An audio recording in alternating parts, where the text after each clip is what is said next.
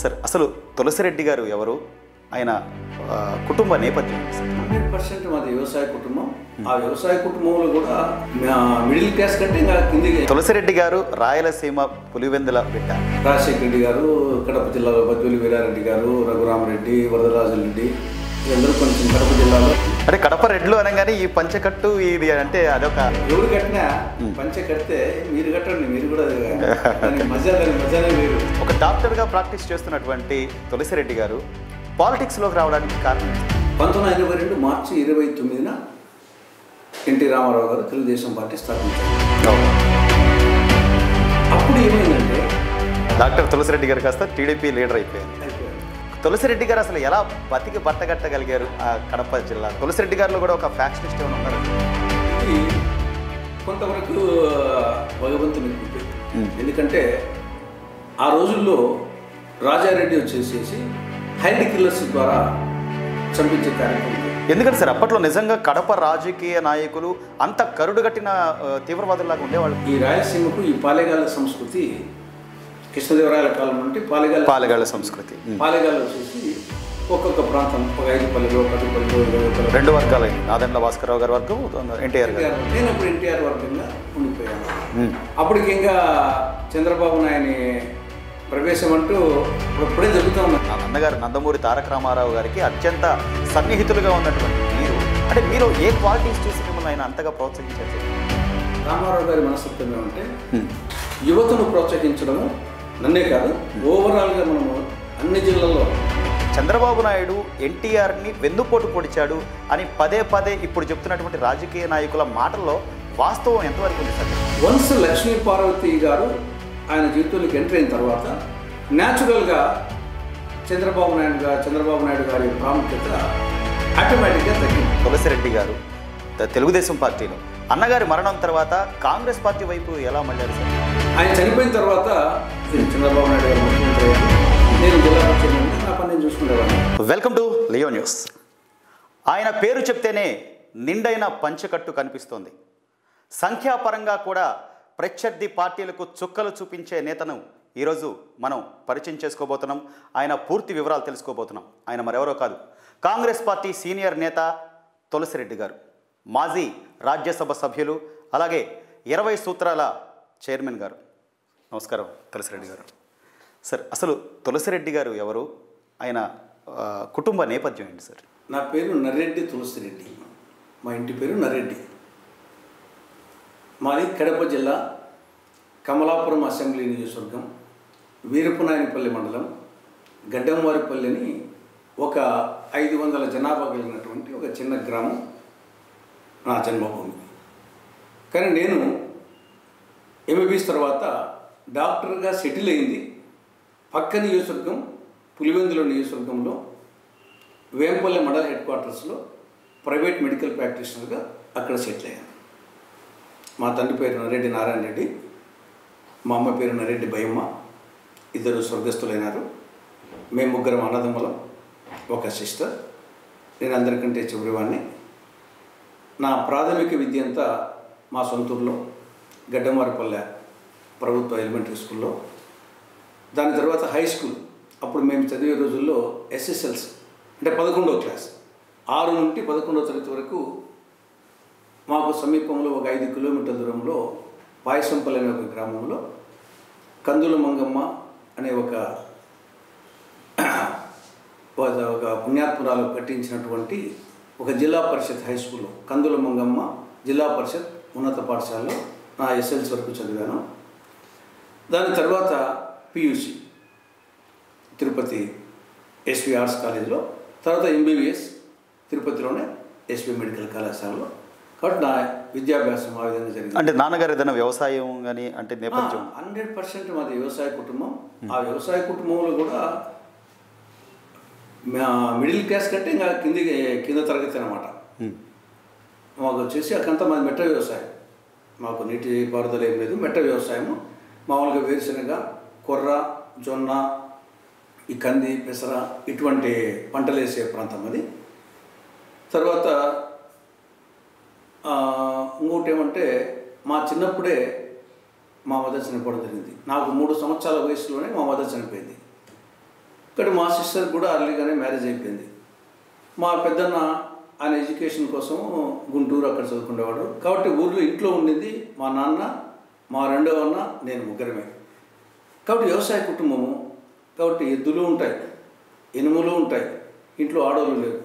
కాబట్టి వంట పని ఇంటి పని ఎద్దుల పని ఎనుములు పాలు చూసుకోవడము ఘాటిపాట క్లీన్ చేయడము తర్వాత పొలం పని ఓదికు చదువుకోవడము. ఇవన్నీ ఆ యొక్క నేపథ్యంలో నా బాల్యం అంతా నా హై స్కూల్ అంతా అటు వంట పని చేయాలా ఇంటి పని చేయాలా కసుపూర్చాలా తర్వాత అన్నం చేయాలా ఘాటిపాట ఎనుమల కాడ ఎదుల కాడ ఘాటిపాట ఆ పెడకాలు తీయడము గంజు ఎత్తిపోయడము తర్వాత పొలంలోకి మా అన్నకు నాయనకు వాళ్ళకు పోయి పైన అక్కడికి పోయి అన్నం ఇచ్చి రావడము మళ్ళీ నేను వచ్చేసి ఐదు కిలోమీటర్లు నడిచి పాయసంలో స్కూల్కి పోవడము ఆ దారిలోనే చదువుకోవడము.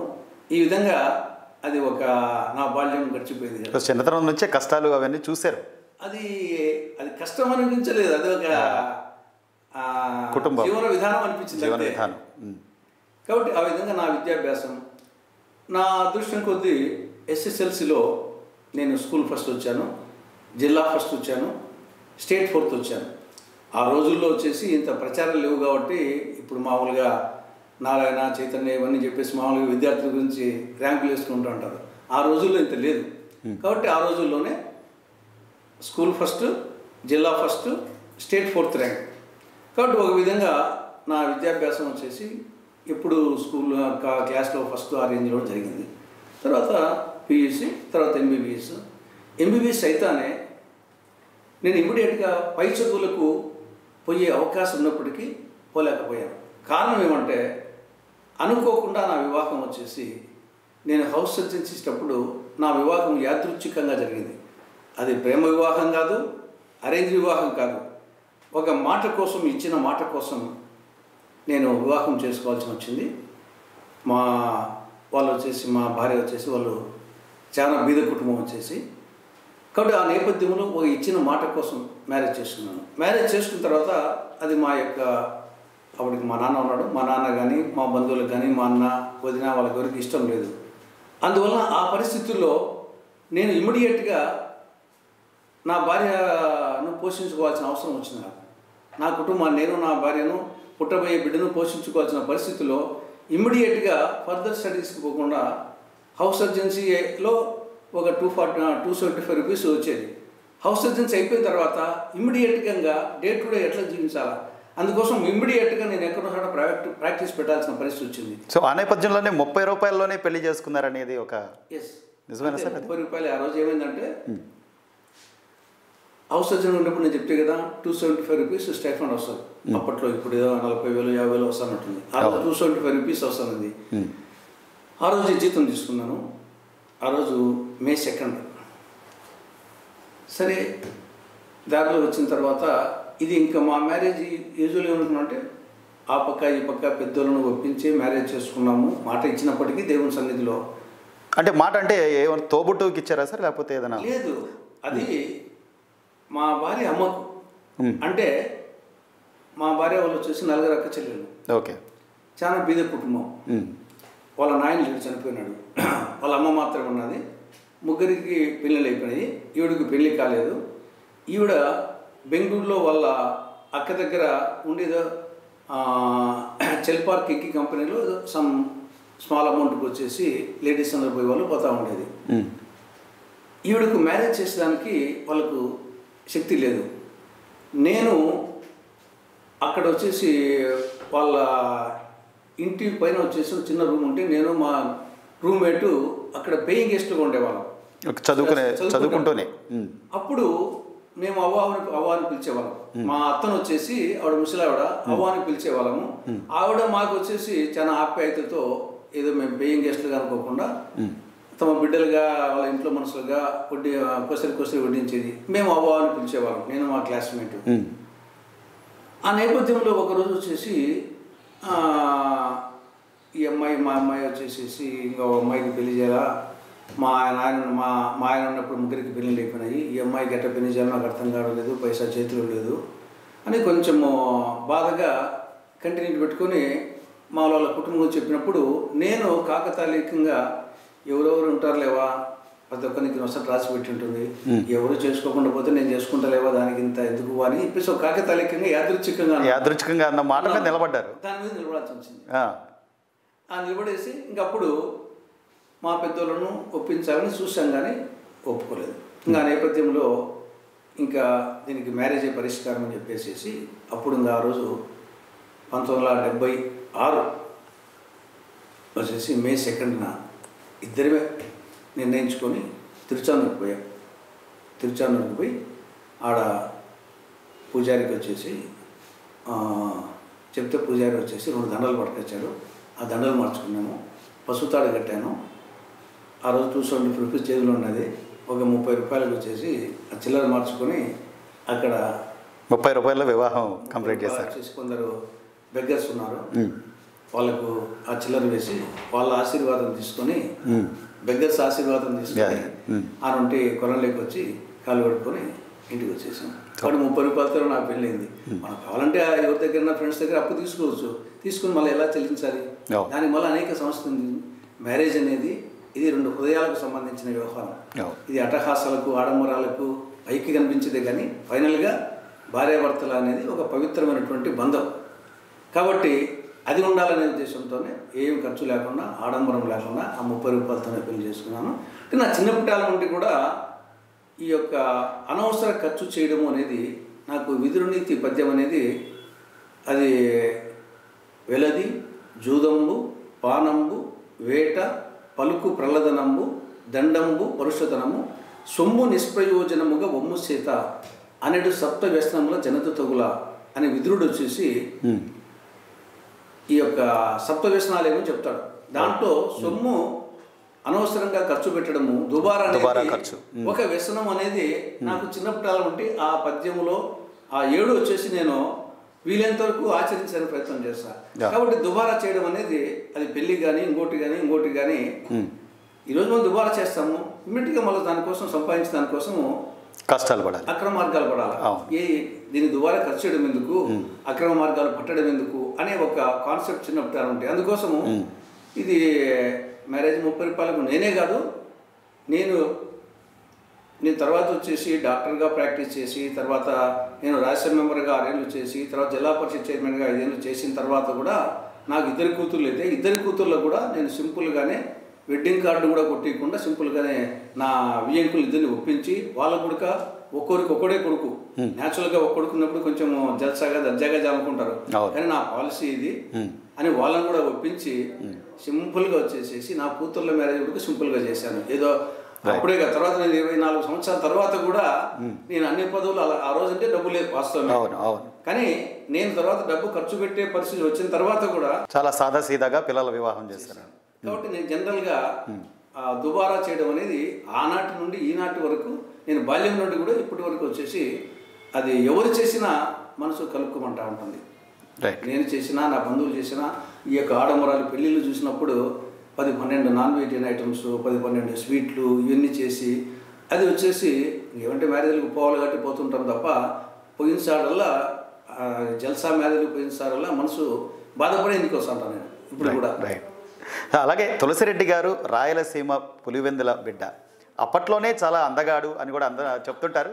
అప్పట్లో సఫారీ అలాగే ఫ్యాన్ షర్ట్లో ఉండేటువంటి తులసిరెడ్డి గారు ఒక్కసారిగా నిండైన పంచకట్టు లాల్చి ఈ ఎలా సార్ ఇదంతా అంటే ఏంటి మీ పంచకట్టు వెనక రహస్యం ఏంటి సార్? ఇది కూడా సార్. యాదృచ్ఛికంగా కాకతాళీయంగా జరిగింది. జనరల్గా వచ్చేసి రాజశేఖర రెడ్డి గారు కడప జిల్లాలో బద్వేలి వీరారెడ్డి గారు రఘురామరెడ్డి వరదరాజరెడ్డి వీళ్ళందరూ కొంచెం కడప జిల్లాలో Hmm. పంచ కట్టుకుంటారు వీళ్ళలో ముఖ్యులు చెప్పాలంటే రాజశేఖర రెడ్డి బద్వేలి వీరారెడ్డి చనిపోయినారు మాజీ మంత్రి. తర్వాత రఘురామరెడ్డి ప్రజెంట్ మైదుకూరు ఎమ్మెల్యే వరదరాజు రెడ్డి గతంలో పొద్దుటూరు ఎమ్మెల్యే వీళ్ళందరూ కూడా పంచ కట్టుకుంటారు. కాబట్టి జనరల్గా పంచ కట్టుకుంటే కొంత ఆ యొక్క మెజెస్టీ అనేది కనపడుతుంది జనరల్గా. టీవీ. కనపడుతుంది. అది కొంచెం మనసులో ఉండేది. ఒకరోజు ఏమైందంటే వీరారెడ్డి గారు నేను రాజ్యసభ మెంబర్గా ఉన్నప్పుడు ప్రారంభంలో నేను వీరారెడ్డి గారు మాజీ మంత్రి ఇద్దరము కడప నుండి హైదరాబాద్కు బస్సులో పోయినాం. ఆయన అప్పుడు ఎమ్మెల్యేగా క్యాండిడేట్గా ఓడిపోయి ఆయన అప్పుడు పదవి లేదు. నేను మెంబర్గా ఉన్నాను. సరే హైదరాబాద్లో ఆ వెంకటేశ్వర హోటల్లో దిగాం. ఒక రూమ్ తీసుకున్నాను ఇద్దరు రూమ్లో. తర్వాత మార్నింగ్ స్నానం చేసిన తర్వాత వీరారెడ్డి అన్న పంచ కట్టుకుంటా ఉన్నాడు. చూశాను. నా పంచ కట్టుకుంటే చాలా బాగుంటుంది నా పంచ కట్టుకుంటే బాగుంటావు వచ్చేసి ఎత్తుకు అని చెప్పేసి అన్నప్పుడు ఆయన నువ్వు కట్టుకుంటావా? అన్నాడు. కట్టుకుంటానా? నేను అట్లయితే అట్లా కిటికీ గుండా చూస్తే ఆడ ఒక రెడీమేడ్ షాపు షోరూమ్ ఉంది. షోరూమ్ కనపడింది. సరే అని చెప్పేసి ఆయన కట్టుకొని రాజధాని పదం అని చెప్పేసి కిందికి పోయి షోరూమ్లోకి పోయి ఒకటి రెడీమేడ్ పంచ పంచర్ అంటుంది ఒకటి షర్ట్ తీసుకొచ్చాడు. తీసుకొచ్చేసి ఆయన చిన్నగా నేర్పాడు. ఓకే. అది మళ్ళీ క్రమేణా అది అప్పుడప్పుడు అప్పుడప్పుడు కడతా అది మళ్ళీ వచ్చేసేసి నా జీవన విధానంలో డ్రెస్సింగ్ కోడ్లో అది ఒక భాగం అయిపోయింది. అంటే కడప రెడ్లు అనగానే ఈ పంచకట్టు ఇది అంటే అదొక ట్రెండ్ ట్రెడిషన్ అనుకోవచ్చా సార్ అది ఒక? న్యాచురల్గా వచ్చేసి ఆ, అక్కనే కాదు ఎవరు కట్టినా పంచె కడితే మీరు కట్టండి మీరు కూడా అది దాని మజా దాని మజానే వేరు. సరే. పంచె కట్టులోన ప్రపంచాన మనగాడని డాక్టర్ సి. నారాయణ రెడ్డి అన్నట్టు రైట్. పంచె కడితే కొంత కొన్నాళ్ళ పాటు అనీజీగా ఉండొచ్చు. ఇక్కడ నడుము కొంత అనీజీగా ఉండొచ్చు కానీ అలవాటు అయిపోతుంది. తర్వాత వచ్చేసి ప్రారంభంలో ఊడిపోతుందేమో ఇవన్నీ కొంచెం ఉంటాయి. కానీ వన్స్ అలవాటు అయిపోయిన తర్వాత ఆ ఫ్యాంటులో ఉన్నప్పుడు సఫారీలో ఉన్నప్పుడు పంచగట్లో ఉన్నప్పుడు మనకు తెలియకుండానే ఏదో ఒక అనిర్వచనమైనటువంటి ఒక ఆ, ఒక టీవీ ఒక రాజసం. ఒక రాజసం. ఆ, ఒక టీవీ అనేది మనకు తెలియకుండానే వస్తుంది. ఆ, ఆ గాంభీర్యంగా వస్తుంది. అంత ఆ. ఆ, పంచకట్టులో ఉన్నటువంటి ఆ తెలుగుదనం కనపడుతుంది. అవును, ఒక. గ్రామీణ వాతావరణం కనపడుతుంది. ఒక రాజస్యం కనపడుతుంది. ఇప్పుడు రాజశేఖర రెడ్డి ఎన్టీ రామారావు ఇటువంటి వాళ్ళు వచ్చేసి పంచ కట్టుకుని వస్తుంటే సింహం పంచ కట్టుకుని వచ్చినట్టు కనపడుతుంది. అవును. ఆ- యొక్క టీవీ కనపడుతుంది. అవును, ఖచ్చితంగా. ఇది ఎవరికైనా బాగుంటుంది. ఇప్పటికీ మీరు అలా వస్తుంటే మాకు కూడా అనిపిస్తుంది సార్. అంటే ఆ నిండుదనం తెలుగు వారి నిండుదనం కనబడుతుంది అన్నట్టు. సో అలాగే సార్ ఒక డాక్టర్గా ప్రాక్టీస్ చేస్తున్నటువంటి తులసిరెడ్డి గారు పాలిటిక్స్లోకి రావడానికి కారణం ఏంటి సార్? అంటే ఏదైనా ప్రభావిత అంశాలు ఏమైనా ఉన్నాయా? ఇప్పుడు ఏమైందంటే నేను ఇమీడియట్గా ఆ మ్యారేజ్ చేసుకుంటానే హౌస్ సర్జన్స్ అయిపోతానే ఇంకా సమ్ కుటుంబాన్ని పోషించుకునేదానికి ఇమీడియట్గా ఎక్కడ ప్రాక్టీస్ పెట్టాలని ఆలోచించినప్పుడు మా ఊరు గడ్డవారిపల్లి అని చెప్తే కదా గడ్డవారిపల్లికి ఈ సైడ్ వేంపల్లి ఆ సైడ్ ఎర్రగుంట్ల. దక్షిణ భాగాన వేంపల్లి మా ఊరికి ఒక ట్వంటీ కిలోమీటర్స్ ఉంటుంది. సరే అయితే ఒక చిన్న టౌన్ అక్కడ పెడితే బాగుంటుందని చెప్పేసి డిసైడ్ చేసుకొని ప్రాక్టీస్ పెట్టాను. డెబ్బై ఏడు ప్రాక్టీస్ పెట్టాను. ఉమ్, ప్రాక్టీస్ పెట్టిన తర్వాత డెబ్బై ఏడు మార్చి సెకండ్న ప్రాక్టీస్ పెట్టాను. ఉమ్, సరే ఇంకా ప్రాక్టీస్ రోరింగ్ ప్రాక్టీస్ జరుగుతూ ఉంది. సరే న్యాచురల్గా వచ్చేసి ఇంక అక్కడ అప్పట్లో ఈనాడు పేపర్ మామూలుగా బాగా పాపులర్ వచ్చేసి పేపరు త్వరగా ఒక పేపర్ వచ్చి చూసేవాళ్ళము. జరుగుతున్న రాజకీయ పరిణామాల గురించి కొంత అవగాహన పేపర్ ద్వారా వస్తూ ఉండేది మిగతా పేషెంట్ చూసుకుంటా ఈ కాలక్షేపం చేస్తున్నాం కాబట్టి. పేషెంట్గా అప్పుడు ఒక మంచి డాక్టర్గా ఆ చుట్టుపక్కల ప్రాంతం అంతా ఒక మంచి డాక్టర్గా పాపులర్ డాక్టర్గా పేరుగాంచాం కాబట్టి డాక్టర్కి ఉన్న అడ్వాంటేజ్ ఉంటాయి. మిగతా అన్ని సెక్షన్స్ కంటే మంచి పేరు వస్తే కన్నా డాక్టర్కి ఒకప్పుడు లాయర్స్ ఉండేది ఇటీవల కాలంలో డాక్టర్స్కు అడ్వాంటేజ్ ఉంటుంది. ఒక చిన్నోని కానుంటే పెద్దోని వరకు అందరూ పరిచయాలు అందరూ పరిచయాలు వస్తాయి. అవును. ఆ విధంగా డాక్టర్గా మంచి పేరుండి ఆ చుట్టుపక్కల ప్రాంతాల్లో వేంపల్లి మండలము ఈ పక్క చక్రాపేట ఆ పక్క పెన్నిమర్రి ఆ పక్క వీరనాంపల్లి ఈ పక్క వేముల ఈ యొక్క ఐదు మండలాలు మండలాల్లో ఒక మంచి డాక్టర్గా ఆల్మోస్ట్ ప్రతి గ్రామంలో నుండి నా దగ్గరికి పేషెంట్లు వచ్చేవాళ్ళు. ఆ విధంగా ముందు గుర్తింపు ఉంది. ఈ లోపల పంతొమ్మిది వందల ఎనభై రెండు మార్చి ఇరవై తొమ్మిదిన ఎన్టీ రామారావు గారు తెలుగుదేశం పార్టీ స్థాపించారు. అప్పుడు ఏమైందంటే అప్పట్లో పది మంది గుర్తే రాజకీయాలు చర్చించుకునే వాళ్ళు కాదు. సినిమాల గురించి చర్చించుకునేవాళ్ళు. పది మంది ఇక్కడ గుర్తే రామారావు రామారావు సినిమాల గురించి నాగేశ్వరరావు లేదా శోభన్ బాబు కృష్ణ. ఇది ఓవరాల్గా వచ్చేసేసి సినిమాల గురించి చర్చించుకునేవాళ్ళు ఆ రోజుల్లో. ఓకే. అభిమాన సంఘాలు కూడా మెయిన్గా రామారావు అభిమాన సంఘాలు ఏఎన్ఆర్ ANR. సంఘాలు. వీళ్ళు సినిమాలు వచ్చేసి పోలీస్ జిల్లా వాళ్ళు టెంకాయలు కొట్టేవాళ్ళు ఈ విధంగా అభిమాన సంఘాలు ఉన్నాయి. రామారావు గారు పార్టీ స్థాపించిన తర్వాత ఎన్టీఆర్ అభిమాన సంఘం వాళ్ళు యూత్ ఉండేవాళ్ళు. వాళ్ళు నా దగ్గరికి నేను డాక్టర్గా అది రూరల్ ప్రాంతం కాబట్టి తొమ్మిది గంటల తర్వాత ఒక గంట రిలాక్సేషన్ కోసం క్యారమ్ బోర్డు ఆడేవాళ్ళం. ఓకే. అప్పట్లో. ఆ క్యారమ్ బోర్డు ఆను ఈ యువకులు వచ్చేవాళ్ళు. ఈ యువకులు కొందరు ఎన్టీఆర్ అభిమాన సంఘం వాళ్ళు కొందరు ఏఎన్ఆర్ అభిమాన సంఘం వాళ్ళు ఉండేవాళ్ళు. ఆ విధంగా లోకంలో ఏం జరిగేది చుట్టుపక్కల చెప్పేవాళ్ళు. క్యారమ్ బోర్డు ఆడుతూ ఆ విధంగా ఒక గంట గంటల సేపు ఉండేవాళ్ళు. ఈ సందర్భంగా ఆ ఎన్టీ రామారావు గారు పార్టీ పెడతానే ఎన్టీఆర్ అభిమాన సంఘం వాళ్ళు ఒకటి ఆ ఆఫీసు చిన్న రూమ్ ఎన్టీఆర్ అభిమాన సంఘం అని చెప్పేసి అంతవరకు ఆఫీస్ లేదు. వాళ్ళు రూమ్ తీసి ఆ రిబ్బన్ కటింగ్ నాతో చేయించారు. ఓకే. ఆ రిబ్బన్ కటింగ్ నాతో చేయిస్తానే కొంత డాక్టర్గా. ముందు అట్లా వచ్చింది. సరే ఈ లోపల నేను మామూలుగా అప్పటి కూడా ఏమి రాజకీయాలకి రావాలని కానీ ఏం లేదు. మామూలుగా నా పని చేసుకుంటున్నాను. కానీ ఓవరాల్గా రోజు రోజుకి వచ్చేసి ఈనాడు పేపర్ వల్ల కానీ రామారావు గారు ఇంకా ఆయన యాత్రలు మొదలుపెట్టినాక అది ప్రజలు వచ్చేసి ఇంకా రామారావు గారి గురించి చర్చించుకునే పరి- చర్చించుకునే పరిస్థితికి వచ్చింది. ఆ నేపథ్యంలో నేను ఎన్టీ రామారావు గారు ఆ రోజు పరిస్థితి ఏమంటే డబ్బు కోసం అయితే ఆయన రాజకీయాలకు రావాల్సిన అవసరం లేదు. అవును. అప్పటికి కొండవీటి సింహం బొబ్బిలి పులి ఇవన్నీ కొన్ని వందల సినిమాలు అవి కనక వర్షం కురిపిస్తున్నాయి. బాక్స్ ఆఫీస్ దగ్గర. కనక వర్షం కురిపిస్తున్నాయి. కాబట్టి డబ్బు కోసం అయితే రామారావు గారు పాలిటిక్స్లోకి రావడం. కామధేనువు లాంటి కల్పవృక్షము లాంటి సినిమా రంగాన్ని వదులుకొని రాజకీయ రంగానికి రావాల్సిన అవసరం లేదు. ఓకే. రెండవది ప్రజాభిమానం కోసం రావాలనే కానీ అవసరం లేదు. ఎందుకంటే అప్పటికి ఆయన దేవునిగా వెంకటేశ్వరునిగా రామునిగా కృష్ణునిగా ఆయన పార్టీలకు అతీతంగా చిన్న నుండి పెద్ద వరకు అందరి హృదయాల్లో ఒక దేవుడిలా ప్రతిష్ఠించబడ్డాడు. అవును. కాబట్టి అంతకంటే ఇంకా రాజకీయాల్లో పేరు ప్రఖ్యాతులు వచ్చే అవకాశాలు లేవు. అవును. మరి ఎందుకు వస్తున్నాడు? అంటే నా మనసుకు తోచింది ఏమంటే సమాజంలో నేను ఇంత వాణి చేసినప్పుడు సమాజానికి నేను ఏమన్నా చేయాలి కదా అని రామారావు గారు. ఆయన చెప్తున్న మాటల్లో నిజాయితీ ఉంది. డబ్బు కోసం రాజకీయాలు రావాల్సిన అవసరం లేదు. పేరు ప్రఖ్యాతుల కోసం అయితే రావాల్సిన అవసరం లేదు. సమాజానికి నన్ను ఇంతవాణిగా చేసిన సమాజానికి నేను కూడా ఏమైనా చేయాలి కదా అని ఆయన చెప్తున్నటువంటి మాటలు ఆలోచన ఇందులో వాస్తవం ఉంది నిజాయితీ ఉంది అని చెప్పేసి నా మనసుకు అనిపించి రైట్ ఆ నేపథ్యంలో మనం కూడా మనం సమాజం ఒక డాక్టర్గా చేసిన ఈ స్థాయికి వచ్చింది. ఆయన స్థాయికి పోకుండా మనం ఒక డాక్టర్గా మనకు ఎస్ఎల్స్లో స్కూల్ ఫస్ట్ జిల్లా ఫస్ట్ రాష్ట్రంలో ఫోర్త్ ర్యాంకు నీకు డాక్టర్గా ఆ రోజులో డాక్టర్ కావాలంటే ఆ రోజు డొనేషన్ కళ్ళు అన్నీ మెరిట్ మీద వచ్చినట్టే. కాబట్టి అప్పుడు సమాజంలో చాలా గుర్తింపు డాక్టర్ అంటే. మరి ఇంత గుర్తింపు తెచ్చిన తర్వాత రామారావు గారు తిన్న ఉడతా ఉడతా భక్తిగా మనం కూడా సమాజానికి ఏమైనా చేయాలి కదా? కాబట్టి ఆయన చేస్తున్న కృషికి మనం కూడా కొంత తోడ్పడితే బాగుంటుందేమో అని ఒక ఆలోచన అలా ఉండేది. ఆ నేపథ్యంలో ఎనభై రెండు చివరిలో అది బహుశా కరెక్ట్ నెల మతం లేదు కానీ ఆ నేపథ్యంలో రామారావు గారు ఇక్కడ సర్కారు తెలంగాణ ప్రాంతంలో ఈయన యాత్ర చేస్తున్నాడు. ఓకే. నాదెండ్ల భాస్కరరావు అప్పుడు తెలుగుదేశం పార్టీలో ఆల్మోస్ట్ సెకండ్. అవును కీలక రోల్. ఆల్మోస్ట్ కీలక రోల్. అవును. ఆయన రాయలసీమ జిల్లాలో టూర్ చేస్తున్నారు. ఉమ్. రాయలసీమ జిల్లాలో టూర్ చేసేటప్పుడు ఫస్ట్ అనంతపురం జిల్లాలో టూర్ చేసి కదిరి లాస్ట్ అయిన తర్వాత నెక్స్ట్ కడప జిల్లా గంటర కావాలి. కడప జిల్లా గంటేటప్పుడు ఫస్ట్ పులివెందుల కాన్స్టిట్యున్సీ అప్పుడు పులివెందుల కాన్స్టిట్యున్సీలో మీటింగ్ పెట్టాలా అనేది. అప్పుడు కడప జిల్లాకు టీడీపీ కన్వీనర్గా మాజీ ఆరోగ్య శాఖ మంత్రి సిరిగిరెడ్డి రామ్మోహన్ రెడ్డి అని చెప్పేసి ఆయన జిల్లా కన్వీనర్గా పెట్టినారు. ఆయనది కూడా మాజీ ఎంపీ కందులోబు రెడ్డి అల్లుడు ఆయన ఆయనది కూడా ఆ పులింద్ర కాన్స్టిట్యున్సీ వేముల మండలంలో కొన్నిరెడ్డి గారి పల్లి అని చెప్పేసి.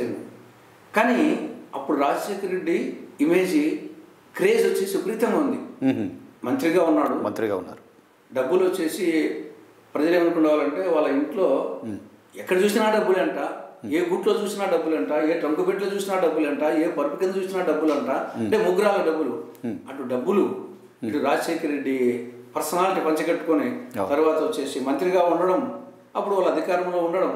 కానీ రాజశేఖర రెడ్డి క్రేజ్ ఇమేజ్ ఆ విధంగా ఉంది. At the same time Raja Reddy వాళ్ళ నాయన వాళ్ళ నాయన భయం ఉండేది. రాజశేఖర రెడ్డి క్రేజ్ ఉండేది. రాజారెడ్డి భయం.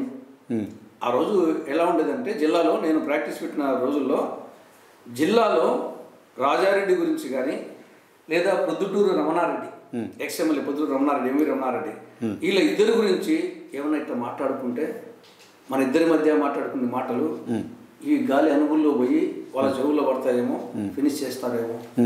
అనే ఒక భయానక వాతావరణం వాళ్ళిద్దరి విషయంలో రాజారెడ్డి అండ్ ఎంవి రమణారెడ్డి ఆ పరిస్థితిలో ఉండేది ఆ రోజుల్లో. అప్పటికిప్పటికీ అస్థిమసకాంతరం వాతావరణం. ఆ. పరిస్థితుల్లో ఈ యొక్క తెలుగుదేశం పార్టీ మీటింగ్ పెట్టడానికి వాళ్ళు నెల రోజులుగా ప్రయత్నం చేశారు. ఎవరు ముందుకు రాలేదు. పులిందుల్లో కానీ వేంపల్లో కానీ అప్పుడు అంత ఎక్కువ రాజకీయ నాయకులు ఉన్నారు. ఎవరు ముందుకు రాలేదు. మీటింగ్ పెట్టేదానికి కూడా. సరే మీటింగ్ పెట్టలేకుంటే అవమానంగా అవుతుంది. తెలుగుదేశం పార్టీ మీటింగ్ కూడా పులిందుల్లాగా పెట్టలేకుంటే తర్వాత గెలుస్తామా పడతామా డిఫరెంట్ ఇష్యూ. మీటింగే పెట్టలేకపోతే అని చెప్పేసి వాళ్ళు మొదలు పడతా ఉన్నారు. సరే రేపు నాదెండ్ల బాసురావు వస్తాడనగా ఈ రోజు నైట్ సాయంత్రం ఆరున్నర ఏడు గంటల ప్రాంతంలో నాది చిన్న రూమ్ అంతా ఇంత రూమ్ ఉంటుంది నా డిస్పెన్సరీ. నేను ఏడు గంటల ప్రాంతంలో ఈ యొక్క జిల్లా కన్వీనర్ రామన్ రెడ్డి ఇంకా కొందరు ఆయన అనుయాయులు. ఈ వేంపూలలో ఉండే ఎన్టీఆర్ అభిమాన సంఘం వాళ్ళు వాళ్ళు పట్టుకొచ్చారు నా దగ్గరికి. వీళ్ళు వాళ్ళని అప్రోచ్ అయ్యారు ఇప్పుడు నాదిలో బాసరావు వస్తున్నాడయా? మరి మీ ఊర్లో మీటింగ్ పెట్టలేకపోతున్నాము. ఎవరన్నా పెట్టించండియా అంటే వాళ్ళందరి దగ్గరికి ఊర్లోని నాయకుల దగ్గరికి అందరికి పిలుచుకుపోయారు రాజకీయ నాయకుల దగ్గరికి ఎవరు రాజశేఖర రెడ్డి రాజారెడ్డి వాళ్ళ ముందర ధైర్యం చేయక ఎవరు ముందుకు రాలే. మీటింగ్ పెట్టేదాన్ని కూడా. సరే ఫైనల్గా వీళ్ళకి ఎందుకు వచ్చిందో? మా సార్ ఉన్నాడంటే క్యారం బోర్డు సారు పదం వచ్చేసి అని చెప్పేసి నా దగ్గర పిలుచుకొచ్చారు. ఓకే. పిలుచుకొస్తే నేను అప్పటివరకు అలా చూడలేదు. ఎవరిని ఎవరు? ఏమంటే ఈ విధంగా రేపు నారాయణ బాసరావు వస్తున్నాడు. ఎవరు మీటింగ్ పెట్టడానికి ముందుకు రాలేదు. మీరు ఏమన్నా ఇంత హెల్ప్ చేస్తారని వచ్చాము అన్నారు. నేను దాన్ని చాలా క్యాజువల్గా తీసుకున్నాను. ప్రజాస్వామ్యంలో మీటింగ్ పెట్టకపోవడం ఏంటి? ఇది మరి చాలా అప్రజాస్వామ్యము అన్డెమోక్రటిక్ అని చెప్పేసి నేను దాని గురించి చర్చించకుండా మీకు మీటింగే కదా? మీటింగ్ నేను పెట్టిస్తపోను నేను అంటే వెరీ దానికి చర్చే దాని పూర్వాపరాలు కానీ దానికి ఎంత ఖర్చు అవుతుంది మళ్ళీ మాట ఇచ్చేశారు. అంతే మళ్ళీ మాట ఇచ్చారు. ఇస్తేనే వాళ్ళు ఆశ్చర్యపోయి వాళ్ళు వెళ్ళిపోయారు ఇంకా ఆడ యూత్ ఉన్నారు కదా. యూత్ ప్రమాణం ఉంది ఎన్టీఆర్ అభిమానం అభిమానులు విపరీతంగా ఉన్నారు. కానీ పిల్లికి గంట కట్టే వాళ్ళు. అంతే వాళ్ళు. అదరు కావాల. వాళ్ళకు ఎప్పుడు నేను చెప్తానే బ్రహ్మాండం యూత్ అంతా వచ్చారు. యూత్ మళ్ళీ వాళ్ళు వెళ్ళిపోయిన తర్వాత యూత్ ఏం ఏరియా చేస్తామని చెప్పేసి వాళ్ళు మాట్లాడుకొని ఎంత ఖర్చు కా- ఎంత డబ్బు అవుతుందంటే ఒక మూడు వందలు ఎన్ని సార్ అంతే. నేను ఇచ్చింది మూడు వందలే వాళ్ళకు. ఆ మూడు వందలతో రాత్రికి రాత్రే మొత్తం వచ్చేసి స్టేజ్ ఏర్పాట్లు మొత్తం అంతా. తర్వాత బ్యాండ్ పిలిచి మైకులు అవి అంతా. తప్పెట్లు పిలిచి పొద్దున్న పూలదండలు తీసుకొని ఊరు వెళ్ళి పోయి రిసీవ్ చేసుకొని అక్కడ నుండి అనంతపురం నుండి వాళ్ళు ఒక పది పదహైదు వెహికల్స్ వాళ్ళు వచ్చారు. కడప వీళ్ళు వచ్చేసి ఒక పదహైదు వెహికల్స్ మేము వెంపల్లి రిసీవ్ చేసుకొని ఆ రోజు వెంపల్లిలో అది పెద్ద కార్గిల్ యుద్ధం అన్నమాట ఏం జరుగుతుందని ప్రజలు వచ్చేసి పులివెందుల నియోజకవర్గంలో రాజశేఖర నియోజకవర్గంలో తెలుగుదేశం పార్టీ మీటింగ్ పెట్టడం అంటే. అదొక భారత్ చైనా భారత్ పాకిస్తాన్ యుద్ధంలో. వాతావరణం. కాబట్టి ఉత్సుకతో చూడాలనే వాళ్ళు కొందరు ఏడ బాంబులు పడతాయని చెప్పేసి ఒక కాలు ఇట్లా ఒక కాలు అట్లా ఆ విధంగా తండోపతండాలుగా వచ్చి ఒక కిలోమీటర్ రెండు కిలోమీటర్లు నడుచుకుంటా వచ్చి దాదాపు వెయ్యి చెప్పులు తెగిపోయింటాయి ఆ రోజు. అంటే అంత కోలాహలం. అదేనండి ఆ విధంగా నా రాజకీయ రంగ ప్రవేశం యాదృచ్ఛికంగా మళ్ళా పెళ్ళి మీరు చెప్పినట్టు ఒక ఇచ్చిన మాట కోసం పెళ్ళి జరిగింది. మళ్ళీ ఒక ఇచ్చిన మరో మాట కోసం రాజకీయ రంగ ప్రవేశం జరిగింది. ఆటోమేటిక్గా నా అధ్యక్షతన మీటింగ్ జరిగింది. మధ్యాహ్నం భోజనాలు ఇంటి ఏర్పాటు చేశాను. ఆటోమేటిక్గా మరుసటి రోజు వచ్చేసి నేను లీడర్గా ప్రొజెక్ట్ చేశారు. నాకేమీ రాజకీయాలకు రావాలని కానీ ఏమీ లేదనమాట ఓకే. ఇది యాక్చువల్గా డాక్టర్ తులసిరెడ్డి గారు కాస్త టీడీపీ లీడర్ అయిపోయారు. అయిపోయారు. రైట్ సార్ ఆ, ఇప్పుడు మీరు అన్నట్లుగానే పులివెందుల రాజకీయం అనగానే ఒక అవగాహన ఉంటుంది ఎవరికైనా సరే. అంతటి పొలిటికల్ పులివెందుల రాజకీయాలను ఎదుర్కొని అంటే తులసిరెడ్డి గారిలో కూడా ఒక ఫ్యాక్షనిస్ట్ ఏమైనా ఉన్నారా సార్ అస్సలు మనకి ఒకటి ఇక్కడ అంత ధైర్యం ఎక్కడి నుంచి వచ్చింది అని? అంటే చిన్నప్పటి బట్టి వచ్చేసేసి నా మనస్తత్వము మా బంధువు ఒక ఆయన వచ్చేసి నరెడ్డి శివరామరెడ్డి అని మా ఊరి అంటే నేను జన్మభూమి పుట్టిన ఊరిలో నరెడ్డి శివరామరెడ్డి ఆయన ఫస్ట్ నైన్టీన్ ఫిఫ్టీ వన్లో ఆయన ఎమ్మెల్యే. కమ్యూనిస్ట్ పార్టీ తరపున. Communist party. సిపిఐ తరపున నరెడ్డి శివరామరెడ్డి అని ఎమ్మెల్యే ఆయన వాళ్ళ కుటుంబం వచ్చేసి చాలా ధనిక కుటుంబం. ఆయన కమ్యూనిస్ట్ ఉద్యమంలో చేరి వాళ్ళను తల్లిదండ్రులు వాళ్ళను నాయనను అన్నదమ్ములను ఎదిరించి ఆయన సర్వస్వము వదులుకొని ఆయన ఎమ్మెల్యేగా ఉంటూ మా ఇంటి పక్కన చిన్న కొట్టము బోధకొట్టం ఉంటే బోధకొట్టంలో ఉండి అప్పుడు ఆయన మీద కమ్యూనిస్ట్ పార్టీ నిషేధం ఉంటే ఆయన వచ్చేసి మూడు సంవత్సరాల పాటు రెండేళ్ళ రెండున్నర మూడేళ్ళ పాటు అజ్ఞాతవాసంలో ఉండి ఆ ప్రాంతంలో కథలు కథలుగా చెప్పుకునే వాళ్ళు వచ్చేసి వాళ్ళ ఆయన వీరోచిత గాథల గురించి. అవి నా బాల్యంలోనే ఆ నల్లరెడ్డి శివరామరెడ్డి యొక్క వీరోచిత గాథలు వాళ్ళ పిల్లలు మేము ఆడుకునే వాళ్ళము ఆయన గురించి చెప్పడము ఒక ఎమ్మెల్యేగా ఉంటూ ఒక సాధారణ జీవితము ధనిక కుటుంబంలో పుట్టి ఒక భావజాలం కోసం వచ్చేసి తల్లిదండ్రు తండ్రిని తల్లిదండ్రులను అన్నదమ్ములను వదులుకొని ఆ విధంగా చేయడం అనేది చిన్నప్పటి అంటే ఒక కమ్యూనిజం భావాలు. ఆ భావం అనేది ఒక ఎదుర్కోవడము పోరాడము ఎదురెళ్ళడం. భయం భయం అనేది ఎప్పుడూ లేదు. ఇంకోటి ఏమంటే నా చిన్నప్పుడు కూడా నేను చరిత్ర చదివినప్పుడు ప్రపంచ మహనీయులందరూ చాలా చిన్న వయసులో చనిపోయిన వాళ్ళే. భగత్ సింగ్ వచ్చేసి ఇరవై నాలుగు సంవత్సరాలు. అవును. అల్లూరి సీతారామరాజు ఇరవై ఏడు సంవత్సరాలు. తర్వాత యేసుక్రీస్తు ముప్పై మూడు సంవత్సరాలు. Hmm. ఆదిశంకరాచార్యులు ముప్పై రెండు సంవత్సరాలు. విశ్వ విజేత అలెగ్జాండరు ముప్పై రెండు సంవత్సరాలు. స్వామి వివేకానంద ముప్పై తొమ్మిది సంవత్సరాలు. అంటే చిన్న వయసులోనే విశ్వవిఖ్యాత విశ్వ విజేత అలెగ్జాండర్ ముప్పై రెండు సంవత్సరాలు. ఈ రోజున ఇంత టెక్నాలజీ ఉంది రవాణా సౌకర్యం ఉన్నాయి. విశ్వ విజేత అయినాడు. ఆది శంకరాచార్య ముప్పై రెండేళ్ళకే కేరళ నుండి వచ్చేసేసి ఉత్తరాదికి పోయి ఇంత పాదయాత్ర ద్వారా. కాబట్టి మనిషి ఎన్నాళ్ళు జీవించామని కాదు జీవించిన కాలంలో ఏమి చేశామనేది ముఖ్యం. కాబట్టి Hmm. మనం వచ్చేసి ఏమి రామరామ అని భూమి మీద రాజ్యం వెళ్తే ఏమీ కాబట్టి మనము ఈ జీవితం వచ్చేసి బుద్ధిబుద్ధప్రాయం ఇంకొకటి సత్యహరిచంద్రుని పాత్ర నా మీద చిన్నప్పటి నుండి ప్రభావితం చేసేది. ఎందుకంటే ఆయన ఒక మాట కోసమే కదా. నువ్వు అబద్ధం చెప్పయ్యా అని విశ్వామిత్రుడు చెప్తే ఆ అబద్ధం చెప్పకపోయిన దానికి సామ్రాజ్యాన్ని వదులుకున్నాడు వారిని పోగొట్టుకున్నాడు కొడుకు చనిపోయినాడు కాటికాపురైనాడు కానీ ఆఖరికి వచ్చేసి మాట తప్పలేదు. అందువల్ల ఈ రోజు కనుక్కుంటున్నాం సత్య హరిశ్చంద్ర గురించి ఆయన చక్రవర్తి అయితే మనం అనుకునే వాళ్ళం కాదు. సత్యవంతుడు కాబట్టి అనుకున్నాం. అవును. ఈ పాత్ర యొక్క అది పాత్ర కావచ్చు ఏమైనా కావచ్చు నా బాల్యం నుండి నా జీవితం మీద సత్యహరిచంద్రుని పాత్ర ఈ మహనీయుల యొక్క చరిత్ర వచ్చేసేసి ఎన్నాళ్ళు జీవించామని కాదు ఎందుకు మానవుడు వచ్చేసేసి ఎప్పుడు రోజు చస్తు బతకాల? కాబట్టి ఉన్నన్నాళ్ళు నీ నెక్స్ట్ మూమెంట్ మన చేతిలో లేదు. అవును. పోయి సైకిల్లో పోయి చావచ్చు ఉన్నట్టుండి హార్ట్ అటాక్ రావచ్చు మూట్ రావచ్చు. కాబట్టి ఇది ఒకటి ఇంకోటి భగత్ సింగ్ జోబీలో ఒక చిన్న ఫోటో ఉండేది. కర్తార్ సింగ్ అని. భగత్ సింగ్ జోబీలో ఇప్పుడు కర్తార్ సింగ్ ఫోటో పెట్టుకునేవాడు. ఓకే. ఎందుకు ఆ ఫోటో పెట్టుకున్నామంటే కర్తార్ సింగ్ ఈయన కంటే ఒక ఐదేళ్ళలో పదేళ్ళలో ముందు ఆయన ఉరి తీశారు బ్రిటిష్ వాళ్ళు. ఆ కర్తార్ సింగ్ ఉరి తీసేటప్పుడు ఆయన కొన్ని వ్యాఖ్యలు చేశాడు ఉమ్, కర్తార్ సింగ్ ఉరి తీసేటప్పుడు కర్తార్ సింగ్ తాత వచ్చాడు. తాత వచ్చి కర్తార్ సింగ్ని పట్టుకొని గోడు గోడు నడుస్తాడు ఏమి రా కర్త?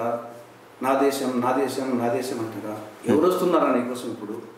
చూడు ఈ విధంగా చనిపోతున్నావు అన్నప్పుడు అప్పుడు కర్తార్ సింగ్ అంటాడు తాత మన ఇంటి పక్కన ఉండే లక్ష్మణ్ సింగ్ ఏమున్నాడు? ఎటున్నాడు తాత? అంటాడు. మన ఇటీవల చనిపోయినారా? అంటాడు. మన పక్కన ఉండే రామ్ సింగ్ ఎలా ఉన్నాడు తాత? అంటే ఇది వార్ధక్యంతో మంచం మీద పడున్నారా? అంటాడు. అటు నెలలు అడిగిన తర్వాత తాత ఇంకా నాన్నలకైనా నా పరిస్థితి అంతే. ఏ రోగంతోనో రొస్టుతోనో చనిపోయే జీవితము. నువ్వు నువ్వు మీసాల నూతన వయసులో దేశం కోసం చనిపోతున్నావు ఇంతకంటే ఏం కావాలి తాత? కాబట్టి పునర్జన్మ అంటూ ఉంటే నూరు జన్మలైనా మళ్ళీ ఈ దేశం కోసము పుడతాను ఇటువంటి కార్యక్రమాలు చేస్తానని చెప్పేసి ఆ కర్తార్ సింగ్ చేసిన వ్యాఖ్యలు భగత్ సింగ్ ఆ ప్రభావితం ప్రభావితం. అది వచ్చేసి నేను చిన్నప్పుడు చదివాను. నా జీవితం మీద కూడా వచ్చేసేది ఆ రోజు నుంచి ఈ రోజు వరకు కూడా ఒక సత్యహరిచిన పాత్ర ఒక కర్తార్ సింగ్ వ్యాఖ్యలు ఈ దేశ నాయకుల వ్యాఖ్యలు. కాబట్టి చనిపోవడం అనేది రోగంతో చనిపోవచ్చు రుస్తు చనిపోవచ్చు ఇతరులు చంపి చనిపోవచ్చు. మనం నొసట రాత ఉంటే పోదాం ఏ దానికోసం వచ్చేసి నిరంతరం ఎందుకు చస్తూ బతకాల అనేది ఆ రోజు నుంచి ఈ రోజు వరకు నేను చేస్తా ఉంది కాబట్టి నా నేను ఫ్యాక్షన్ చెయ్యను ఫ్యాక్షన్స్ గురించి భయపడను. మహాత్మా గాంధీ వచ్చేసి ఆయన పుట్టకొస్తేనే రవి అస్తమించిన బ్రిటిష్ సామ్రాజ్యాధినేతలు అని చెప్పేసి ఆయన తుపాకీ పట్టాడా లేకుంటే లగ్జూరియస్ జీవితం గడిపాడా పుట్టకోస పట్టుకొని చేశాడు కాబట్టి మనిషికి కావాల్సింది ఆ ఆత్మవిశ్వాసం అనేది. నేను ఆ ఆత్మవిశ్వాసంతో ముందుకు పోతున్నా. నేను చావు గురించి ఏమాత్రం వచ్చేసి ఆ రోజు నుంచి ఈ రోజు వరకు నెక్స్ట్ మొమెంట్ మంది కాదు. ఈ మొమెంటే మంది. ఈ మొమెంట్ మూమెంట్లో మనం ఏమి చేశామో సమాజం కోసం అనేదే ఇంపార్టెంట్ తప్ప ఆ యాంగిల్తో పోతున్నా కాబట్టి నాకు ఫ్యాక్షనిజం అన్నా భయం లేదు. నన్ను చంపుతామన్నా కానీ సంతోషంగా చంపుకోండి అయినా నా చనిపోతే వచ్చేసేసి మీకు మేలు జరిగితే చంపుకోండి. సమాజానికి మేలు జరిగితే నా చావు వల్ల దానివల్ల మంచిదే. లేదా నా వల్ల సందేశం వస్తే సమాజానికి దాని మంచిదే. అని ఆల్వేస్ వెల్కమ్ ఉంటుంది. దాని గురించి ఇప్పుడు జగన్మోహన్ రెడ్డి చాలా మంది అంటుంటారు ఫోన్ చేస్తుంటారు. ఏం సార్ మీరు వచ్చేసి మేము భయపడుతుంటే మీరు పులివెందుల్లో ఉండి ఈ విధంగా ఇస్తారంటే నేను జగన్మోహన్ రెడ్డి మీద వ్యతిరేకత కాదు ఇష్యూస్ మీద. నేను ఇష్యూస్ మీద ఫైట్ చేస్తాను. ఆ ఇష్యూస్ మీద దాంట్లో ఉండే డిమెరిట్స్ నేను చెప్తాను. మెరిట్స్ వాళ్ళు చెప్పుకుంటారు డిమెరిట్స్ నేను చెప్తాను. సమాజం కోసం ఆ డిమెరిట్స్ సర్దిద్దుకుంటే అది సమాజానికి మంచిది ఆ పార్టీకి మంచిది. రైట్ నేను చేసే పని అదే. రైట్ అలాగే రాజారెడ్డి రాజకీయం అలాగే వైఎస్ రాజశేఖర రెడ్డి గారి హవా నేపథ్యంలో తులసిరెడ్డి గారు అసలు ఎలా బతికి బట్టగట్టగలిగారు ఆ కడప జిల్లాలో? ఇది కొంతవరకు భగవంతుని కృపే. ఎందుకంటే ఆ రోజుల్లో రాజారెడ్డి వచ్చేసేసి హైడ్ కిల్లర్స్ ద్వారా చంపించే కార్యక్రమం ఉంది హైడ్ కిల్లర్స్ పెట్టి కిరాయి అంతలో పెట్టి సో చంపించే ఎవరు చంపారో కూడా తెలియదు ఎవరికి. కొందరు తెలిసినా ఆ రోజుల్లో ఈ మీడియా ఇవన్నీ లేదు. ఎక్స్పోజ్ చేసే పరిస్థితి లేదు.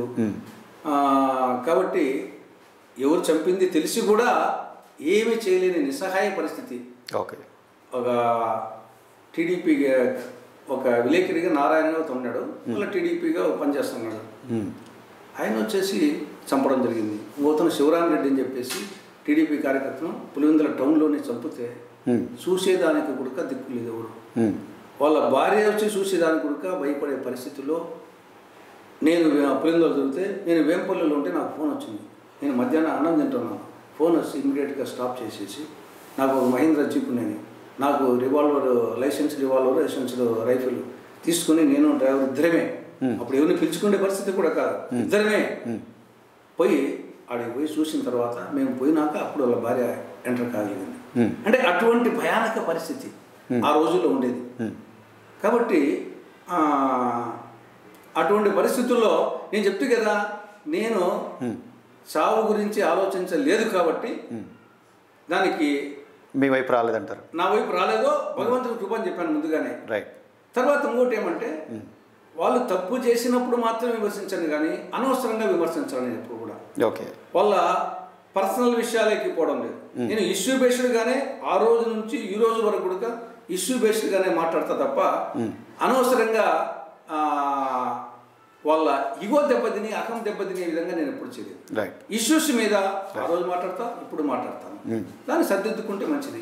బహుశా అది కూడా కారణం కావచ్చు. ఎందుకంటే సార్ అప్పట్లో నిజంగా కడప రాజకీయ నాయకులు అంత కరుడుగట్టిన తీవ్రవాదుల్లాగా ఉండేవాళ్ళు అంటారు? అంటే ఈ రాజారెడ్డి రాజకీయం అంటే అసలు మాలాంటి వాళ్ళకి మీరు అప్పుడు చూసుంటారు దగ్గరగా చాలా దగ్గరగా.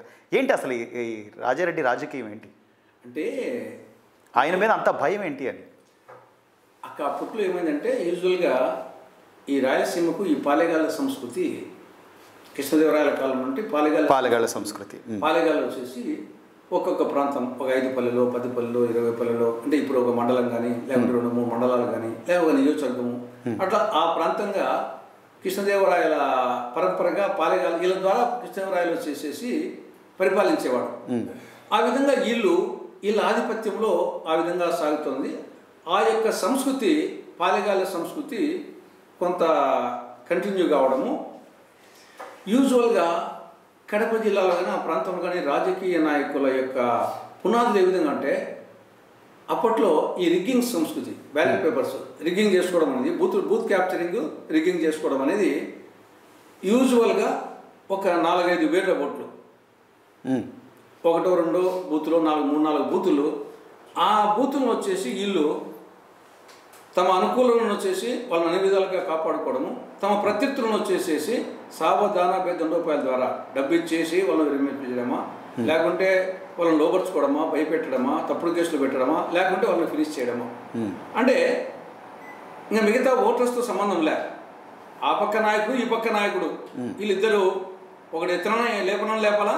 లేకుంటే ఇద్దరు ఒక పక్క రావాలా? వస్తే ఇంకా మొత్తము ఒక వెయ్యి ఓట్లు ఉంటాయి కదా? దాంట్లో నైంటీ పర్సెంట్ ఓట్లు మళ్ళీ మొత్తం హండ్రెడ్ పర్సెంట్ వేస్తే రికౌంటర్ వస్తుందని చెప్పేసి ninety percent ninety two percent వేసుకునేవాళ్ళు. వెయ్యికి తొమ్మిది వందల ఓట్లు వేసుకునేవాళ్ళు. ఆ విధంగా నాలుగు బూతులు రిగ్ చేసుకుంటే నాలుగు తొమ్మిది మూడు వేల ఆరు వందల ఓట్లు పక్కన పడతాయి. ఇంకా మిగతా చోట్ల ఆడ యాభై ఆడనూరు ఆడనూరు ఎన్ని వచ్చినా ఎన్ని పొంగనూరులకు బెంగళూరు చెప్పి అన్నట్టు దీన్ని కవర్ చేయక ఈ విధంగా రాజకీయాల్లో ఎమ్మెల్యేలు నాయకులు అయ్యేవాళ్ళు. దీనికోసం ఈ రిగ్గింగ్ను సంస్కృతిని కాపాడుకునే దానికోసము ఆ పల్లెలను తమ స్వాధి తెచ్చుకునే దానికోసము అప్పుడు ఈ రకరకాల ప్రయోగాలు వచ్చేసి తమ శత్రువులను వచ్చేసి ఫినిష్ చేయడము దానికి తుపాకులు బాంబులు కత్తులు కటార్లు ఈటెలు ఈ సంస్కృతి కొన్నాళ్ళ పాటు బాంబుల సంస్కృతి వేరే వికారం చేసింది. పోలింగ్ స్టేషన్స్కు ఏజెంట్ ఫారాలు అడిగేవాళ్ళు కాదు డబ్బులు అడిగేవాళ్ళు కాదు ఏజెంట్లు ముందు బాంబులు ఇస్తే గానీ పోలేమనే వాళ్ళు అంటే ప్రతి బూత్కు వచ్చేసి ఒకటో రెండో నాలుగో బాంబులు పొగ బాంబులు మిగతా బాంబులు ఇచ్చి ఏజెంట్ ఫారం ఇచ్చి ఏజెంట్ ఖర్చులు ఇస్తే అప్పుడు తీసుకునేవాళ్ళు. వీళ్ళు వచ్చేసి అవతల సంపాదన కాదు. వీళ్ళ దగ్గర బాంబులు ఉన్నాయంటే వాడు రిగ్గింది రాడు. లేకుంటే వీళ్ళ దగ్గర లేవంటే ఈ గ్రూప్ దగ్గర లేవంటే వాడు వచ్చేసి పొద్దున్నే ఏడు గంటలకు ఎనిమిది గంటలకు పోలింగ్ అంటే ఆరు గంటలకి వచ్చేసి నాలుగు పగములు వేసి రాని వేసి టిక్ చేసేస్తాడు. ఈ పక్క ఉన్నాయి అంటే కన్నా పోలింగ్ జరుగుతుంది. అనే దానికోసం వచ్చేసి ఆ విధంగా బాంబుల సంస్కృతి వేరే విహారం చేసింది. ఆ నేపథ్యంలో ఇవన్నీ ఇంకా డబ్బులు ఉండేవాడు రౌడీజం ఉండేవాడు. కొందరు ముందుకు వచ్చారు కొందరు వచ్చేసి ఈ రౌడీజం ఎందుకు అని చెప్పేసి అన్న అంతవరకు రాజకీయాలు చేసిన వాళ్ళు కూడా తెరమరుగు అయిపోయినారు వచ్చేసి. అంతవరకు పెద్ద పెద్ద పదవులు పొందిన వాళ్ళు కూడా. ఈ రాజకీయాల ముంద ఈ డబ్బు ముందర తట్టుకోలేక కొన్నాళ్ళ పాటు ఊరుకుంటే మేరని చెప్పేసి కొందరు కొన్ని కుటుంబాలు తెరమరుగైపోయి కొన్ని కుటుంబాలు ఇట్లా పైకి వచ్చాయి. తరువాత తెలుగుదేశం పార్టీ వైపు తులసిరెడ్డి గారు అడుగులు ఎలా పడ్డాయి సార్? చెప్తే కదా ముందు ఆ మీటింగ్ నాగర్ల భాస్వరరావు గారి మీటింగ్ వెంపల్లో పెట్టించిన తర్వాత నెక్స్ట్ మళ్ళీ కొద్ది రోజులకే విజయభాస్కర్ రెడ్డి గారు ముఖ్యమంత్రిగా అసెంబ్లీని ముందుగానే రద్దు చేసి ఎన్నికలు ఎలక్షన్ కమిషన్ ప్రకటించడం జరిగింది. యాక్చువల్గా అప్పుడు నేను పులిందల టికెట్ అడుగుతానేమో అనుకున్నారు యాక్చువల్గా నాకు ఆ ఉద్దేశం లేదు. నేను ఆ రోజు కార్యక్రమం చేశాను మళ్ళీ నేను మామూలుగా నా డాక్టర్ పని నేను చేసుకుంటా ఉన్నాను. మళ్ళా అప్పుడు ఆ సందర్భంగా ఎద్దుల బాలరెడ్డిని ఒక పులిందల ఆయనే అచ్చువెల్లి గ్రామం ఆయన హైదరాబాద్లో ఒక ఎలక్ట్రి ఎలక్ట్రికల్ కాంట్రాక్టర్గా ఉన్నాడు.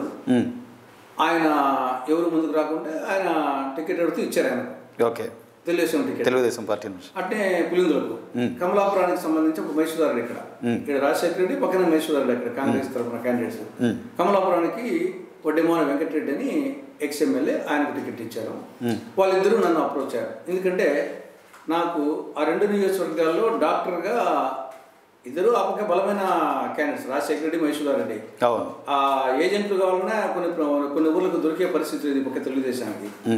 నాకు ఈ యొక్క రెండు నియోజకవర్గాల్లో ఉన్న ఐదు మండల్స్ పరిచయాలు కాబట్టి నా అవసరం వచ్చేసి వాళ్ళు నన్ను అప్రోచ్ అయ్యారు నేను ఆ సందర్భంగా వచ్చేసి రెండు నియోజకవర్గాలు నేను వాళ్ళతో సంబంధం లేకుండా నా వ్యక్తిగతంగా తిరిగి పార్టీకి ప్రచారం చేశాను విస్తృతంగా.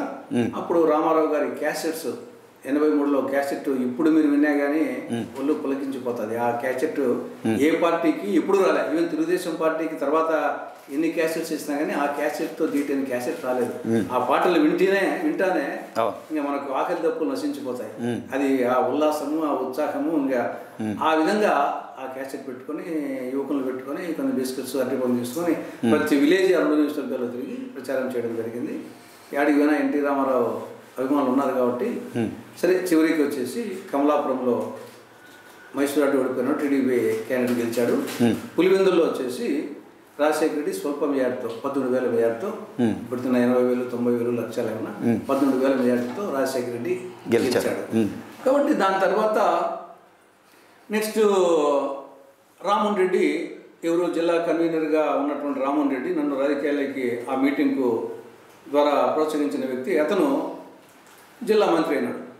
జిల్లాకు జిల్లా తరపున రాయలసీమకంతా ఆయనే క్యాబినెట్ మినిస్టర్. ఇంకా అప్పుడు కర్నూలుకి చిత్తూరుకి మంత్రి పదవులు వెళ్ళారు ఒక అనంతపురంలో ఒక ఆయనకు వచ్చేసి స్టేట్ మినిస్టర్ ఇచ్చాడు ఈయనకు క్యాబినెట్ ర్యాంక్ ఇచ్చారు.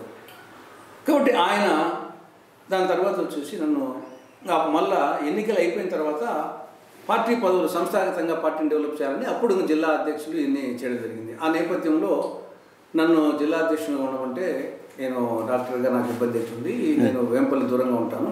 ఎవరన్నా కడపాలను పెట్టండి అని చెప్పడము. నన్ను అప్పుడు పులిందుల అసెంబ్లీకి కన్వీనర్గా పెట్టారు కొన్నాళ్ళ పులిందుల అసెంబ్లీ కన్వీనర్ ఉన్న తర్వాత కొంత జిల్లా స్థాయిలో జిల్లా కమిటీలో అంత మంచి వక్త ఉంటే బాగుంటుంది. మీరు కనీసం జిల్లా అధ్యక్షులు లేకుండా జిల్లా వైస్ ప్రెసిడెంట్గా రండి అని చెప్పి జిల్లా వైస్ ప్రెసిడెంట్గా ఉండి మీటింగ్లకు అందుకుపోతా ఉండేవాడిని. ఆ నేపథ్యంలో ఎనభై నాలుగులో నాదెండ్ల భాస్కరరావు గారు రామారావు గారిని దించి ఒక నెల ప్రజాస్వామ్య పరీక్ష యుద్ధం జరిగింది ఆ సమయంలో మొత్తం ఇదే నన్ను ఎవరైతే రాజకీయాల్లోకి ప్రవేశించడానికి అవకాశం కల్పించారో ఆ రామోహన్ రెడ్డి గారు నాదెండ్ల భాస్కరరావు పక్క పోయారు ఓకే. అప్పుడు జిల్లా అధ్యక్షుడిగా ఉన్న ఆయన కూడా జిల్లా అధ్యక్షుడు కోశాధికారి జిల్లా కమిటీలోకి చీలికి వచ్చేసి ఆ పక్క కొందరు పోయారు. నేను రామారావు గారి పక్కన రెండు వర్గాలైనవి నాదెండ్ల భాస్కరరావు గారి వర్గం ఎన్టీఆర్ గారు నేను అప్పుడు ఎన్టీఆర్ వర్గంగా ఉండిపోయాను. అప్పటికి ఇంకా చంద్రబాబు నాయని ప్రవేశం అంటూ అప్పుడప్పుడే జరుగుతూ ఉంది అంతే. కానీ చంద్రబాబు నాయుడుతో పరిచయం కూడా లేదు. ఓన్లీ ఎన్టీ రామారావు పార్టీ వ్యవస్థాపకుడు ఆయన వెన్నుపోటు పొడిచారు అనే దాని మీద ఆయన పక్కన ఉన్నాను అప్పుడు ఆ వన్ మంత్ జిల్లాలో ప్రజాస్వామ్య పరీక్ష టీము జిల్లా వైస్ ప్రెసిడెంట్గా ప్రెసిడెంట్ ఆ పక్క కాబట్టి వైస్ ప్రెసిడెంట్ నడిపాను. తర్వాత వన్ మంత్కి మళ్ళా చేయడం జరిగింది. మళ్ళా ఎనభై నాలుగులో పార్లమెంట్ ఎన్నికలు జరగడము ఎనభై ఐదులో మళ్ళీ అసెంబ్లీ ఎన్నికలు జరగడము మళ్ళా విస్తృతంగా పర్యటించడం జరిగింది. రైట్ అప్పుడు ఎనభై ఐదులో ఎనభై నాలుగులో పార్లమెంట్ ఎన్నికలు జరిగినాయి. ఆ పార్లమెంట్ ఎన్నికల సందర్భంగా అప్పుడు డిఎన్ రెడ్డి అని చెప్పేసి పులివెందుల ఆయనే మాజీ జిల్లా పరిషత్ చైర్మన్ దేవిరెడ్డి నరసింహారెడ్డి అని చెప్పేసి ఆయనకు టీడీపీ టికెట్ ఇవ్వడం జరిగింది. ఆ ఎన్నికల్లో ఆయన గెలిచారు. పులివెందుల నియోజకవర్గంలో పులివెందుల నియోజకవర్గంలో కూడా మేట వచ్చింది. అప్పటికి కాంగ్రెస్ క్యాండిడేటు వచ్చేసి కందుల ఓవరెడ్డి రాజశేఖర రెడ్డి వాళ్ళు వాళ్ళ హవా ఉన్నప్పటికీ. ఉన్నప్పటికీ డిఎన్ రెడ్డి ఆయన పొలిటికల్ ఫ్యామిలీ అయింది కూడా. ప్లస్ తెలుగుదేశం హవాతో. ఆయన గెలవడం జరిగింది. ఆయన వచ్చిన ఆయన వచ్చిన తర్వాత డిఎన్ పులింద నియోజకవర్గానికి సంబంధించి ఇంకా పెద్ద ఆయన చూసుకునేవాడు. డిఎన్ రెడ్డి ఎంపీ కదా. కాబట్టి నేను అంత నా అవసరం ఉండేది కాదు ఓకే ఈ లోపల మళ్ళా జిల్లా కమిటీ రాష్ట్ర కమిటీలు ఏర్పాటు చేశారు. ఆ నేపథ్యంలో నన్ను సంస్థాగతంగా నన్ను జిల్లా సెక్రటరీగా చేశారు. జిల్లా సెక్రటరీగా చేసిన తర్వాత ఇక్కడ మహానాడు ఎనభై ఆరు జనవరి తొమ్మిదిన మహా మినీ మహానాడు జరిగింది మహానాడు జరగకుండా ఆ సంవత్సరం ఎనభై ఆరులో మినీ మహానాడు మినీ మహానాడు. కొల్లిపేటలో. అవును ఆ మినీ మహానాడులో నన్ను రీజన్ వైజ్గా క్యాస్ట్ వైజ్గా ఇవన్నీ బ్యాలెన్స్ చేస్తూ సామాజికంగా నన్ను రాష్ట్ర కమిటీ తీసుకోవడం జరిగింది. రాష్ట్ర కమిటీ చాలా చిన్నది. ఎనభై ఆరు నుండి ఎనభై ఎనిమిది వరకు ఉన్నటువంటి రాష్ట్ర కమిటీ ఎన్టీ రామారావు గారు అధ్యక్షుడు. అవును. వెంకటరెడ్డి గారని ఒక ఉపాధ్యక్షుడు. ఒక్కరే. ఒకరే ఆయన మెదక్ జిల్లా. ఒక్క general secretary Chandrababu Naidu. Only ముగ్గురం సెక్రటరీస్. నేను రాయలసీమ నుండి అరవల మోహన్ రావు శ్రీకాకుళం నుండి రుమాల రామచంద్రయ్య తెలంగాణ మహబూబ్నగర్ నుండి ఒక్క కోశాధికారి. ఆరు మంది కార్యవర్గ సభ్యులు. ఇది రాష్ట్ర కమిటీ రాష్ట్ర కమిటీ. జంబోలు ముప్పై నాలుగు మంది ఉపాధ్యక్షులు నలభై నాలుగు మంది జనరల్ సెక్రటరీస్ నూట యాభై మంది కార్యదర్శులు ఇట్లా కాదు. ఒక అధ్యక్షుడు ఒక ఉపాధ్యక్షుడు వన్ జనరల్ సెక్రటరీ ముగ్గురు. సెక్రటరీస్ ఒక కోశాధికారి ఆరు మంది. మొత్తం పద్దెనిమిది మంది. ఆ పద్దెనిమిది మందిలో నేను. ఫుల్ టైం జాబ్ ఎవరికి? జనరల్ సెక్రటరీ చంద్రబాబు నాయుడు మా ముగ్గురు సెక్రటరీస్. మేము నలుగురం వచ్చేసి ఫుల్ టైం మిగతా వాళ్ళందరూ మీటింగ్ అప్పుడు వచ్చేవారు రామారావు గారు ముఖ్యమంత్రిగా అధ్యక్షుడిగా రెండు సమన్వయం చేసుకోవాలి కాబట్టి మెయిన్గా వచ్చేసి చంద్రబాబు నాయుడు అప్పటికే ఆయన ఎంట్రీ జరగడము ఇరవై ఆరు కల్లా. కాబట్టి మా ముగ్గురికి మూడు ప్రాంతాలను అలాట్ చేశారు. నాకేమో శ్రీకాకుళం జిల్లా నుండి కృష్ణా వరకు ఆ ప్రాంతం నాకు ఇచ్చారు సంస్థాగతంగా. రుమాల రామచంద్రయ్యకి వచ్చేసి రాయలసీమ గుంటూరు ప్రకాశము ఇచ్చారు నెల్లూరు తెలంగాణ వచ్చేసి ఎర్రల మోహన్ రావుకు. ఈ విధంగా సంస్థాగతంగా ఎనభై ఆరు నుంచి ఎనభై ఎనిమిది వరకు మొత్తం పార్టీ వ్యవహారాలు అప్పుడు రామారావు గారు ముఖ్యమంత్రి ప్లస్ అధ్యక్షులు కానీ ఓవరాల్గా చంద్రబాబు నాయుడు గారు పార్టీ మీద పూర్తిగా ఒక క్రమశిక్షణతో పార్టీని సంస్థాన్ని నడిపే. అప్పుడు పార్టీ వెరీ పవర్ఫుల్ మ్మ్. ఆ నేపథ్యంలో ఎన్టీ రామారావు గారు మేము కమిటీగా ప్రమాణ స్వీకారం చేసే రోజు చెప్పారు మీరు సెక్రటేరియట్కి ఎంటర్ కావద్దు మీ ముగ్గురు కార్యదర్శులు మ్మ్.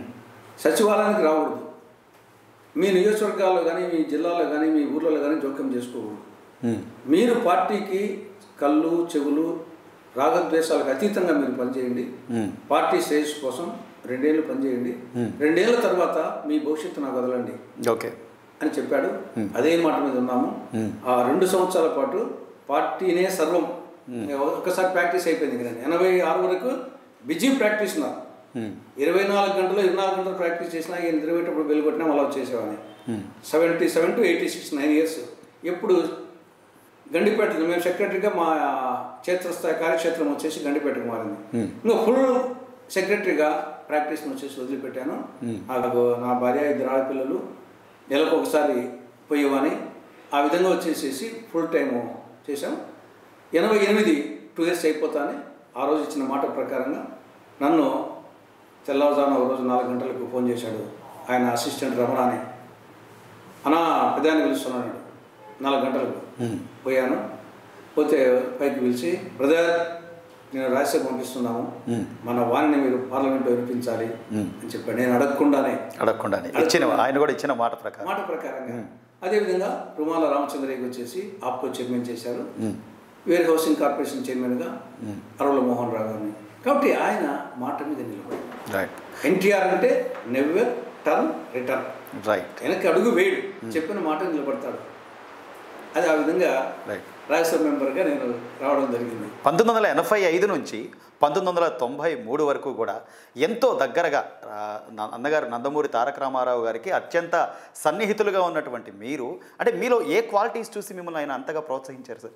అంటే జనరల్గా రామారావు గారి మనస్తత్వం ఏమంటే యువతను ప్రోత్సహించడము నన్నే కాదు ఓవరాల్గా మనము అన్ని జిల్లాల్లో ఇరవై మూడు జిల్లాలో అప్పుడు సమైక్యాన్ని చూసినా కానీ ఆయన యువతను ప్రోత్సహించేది ఆయన ఒకటి అలవాటు. రెండవది వచ్చేసి ఎడ్యుకేటెడ్ను ఎంకరేజ్ చేస్తాడు. ఉమ్, విద్యావేత్తలను. విద్యావేత్తలు ఆయన ఎవరిని పోటీదారుగా భావించడు.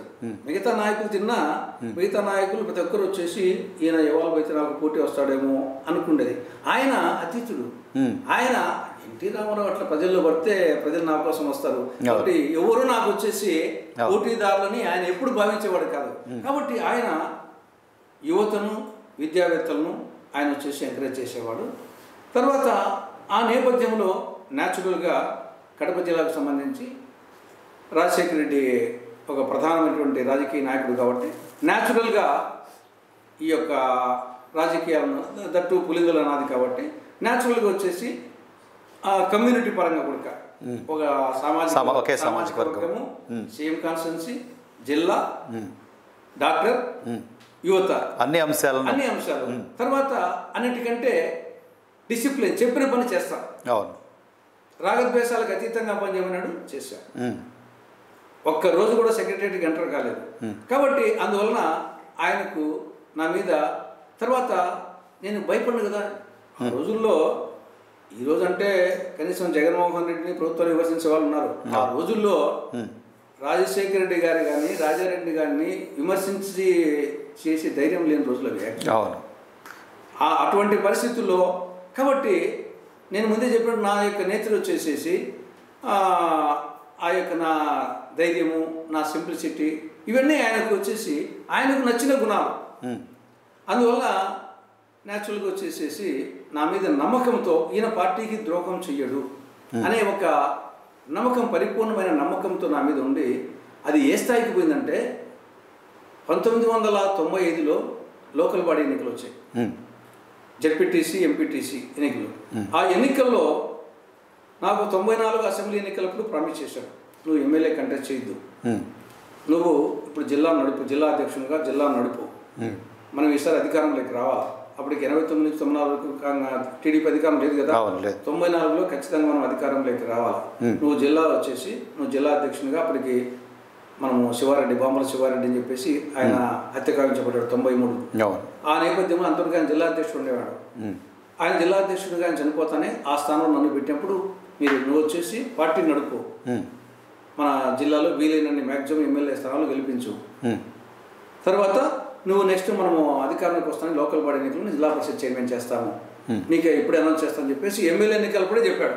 ఉమ్, ఆ విధంగా ఎమ్మెల్యే ఎన్నికల్లో వచ్చేసి కష్టపడినాము. అప్పుడు పదకొండు ఎమ్మెల్యేలకు గాను ఏడు తెలుగుదేశంకి వచ్చాయి. నాలుగు కాంగ్రెస్కి వచ్చాయి. టీడీపీకి మెజార్టీ వచ్చాయి. తర్వాత లోకల్ బాడీ ఎన్నికలు వస్తానే ఆయన అప్పటికి యాభై జడ్పీటీసీలు ఉంటే యాభై బీఫారం నా చేతికి ఇచ్చారు. పేర్లు రాయలేదు. క్యాండిడేట్స్ పేరు రాయకుండా జిల్లాలో మహామహా మేధావులు ఎమ్మెల్యేలు ఉన్నారు.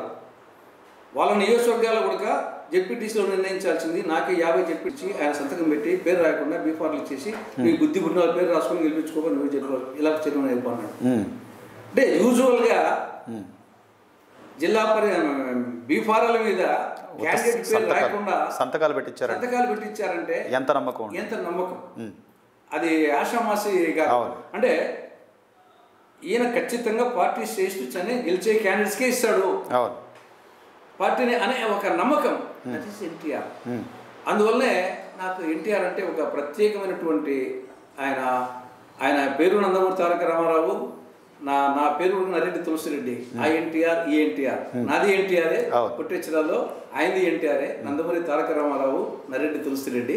అందుకోసం నా ఉంగరం కూడా ఎన్టీఆర్ ఎన్టీఆర్ రైట్ అలాగే సార్ అప్పట్లో తెలుగుదేశం పార్టీలో కీలక రోల్ పోషిస్తున్న సమయంలో నారా చంద్రబాబు నాయుడు గారు కూడా చాలా దగ్గరగా చూసిన వ్యక్తి మీరు.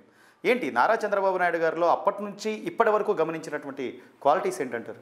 అంటే ఎనభై ఆరు నుంచి ఎనభై ఎనిమిది వరకు రెండు సంవత్సరాలు ఆల్మోస్ట్ ఒక సండే రోజు తప్ప ఎవ్రీడే కలిసేవాళ్ళం. గండిపేటలో. మేము. ముగ్గురం సెక్రటరీస్ మేము ఓల్డ్ ఎమ్మెల్యే క్వార్టర్స్లో ఒకటి ఎమ్మెల్యే క్వార్టర్ మాకు ఇచ్చారు. వేరే వాళ్ళ పేరు తీసుకొని ఒక వ్యాన్ వచ్చేది. మేము ముగ్గురం సెక్రటరీస్ము కొందరు ఆఫీసు పోయేవాళ్ళము. చంద్రబాబు నాయుడు ఆయన మళ్ళీ ఆయన కారులో వచ్చేవాడు. ఆయనకు ఒక రూము మాకు ఒక్కొక్క ఒక రూము. అప్పుడు కంప్యూటర్ సిస్టమ్ అంతా అప్పుడు మొత్తం సంస్థాగతంగా చేసి Hmm. కాబట్టి రోజు ఎక్సెప్ట్ సండే ప్రతిరోజు కలిసేవాళ్ళము.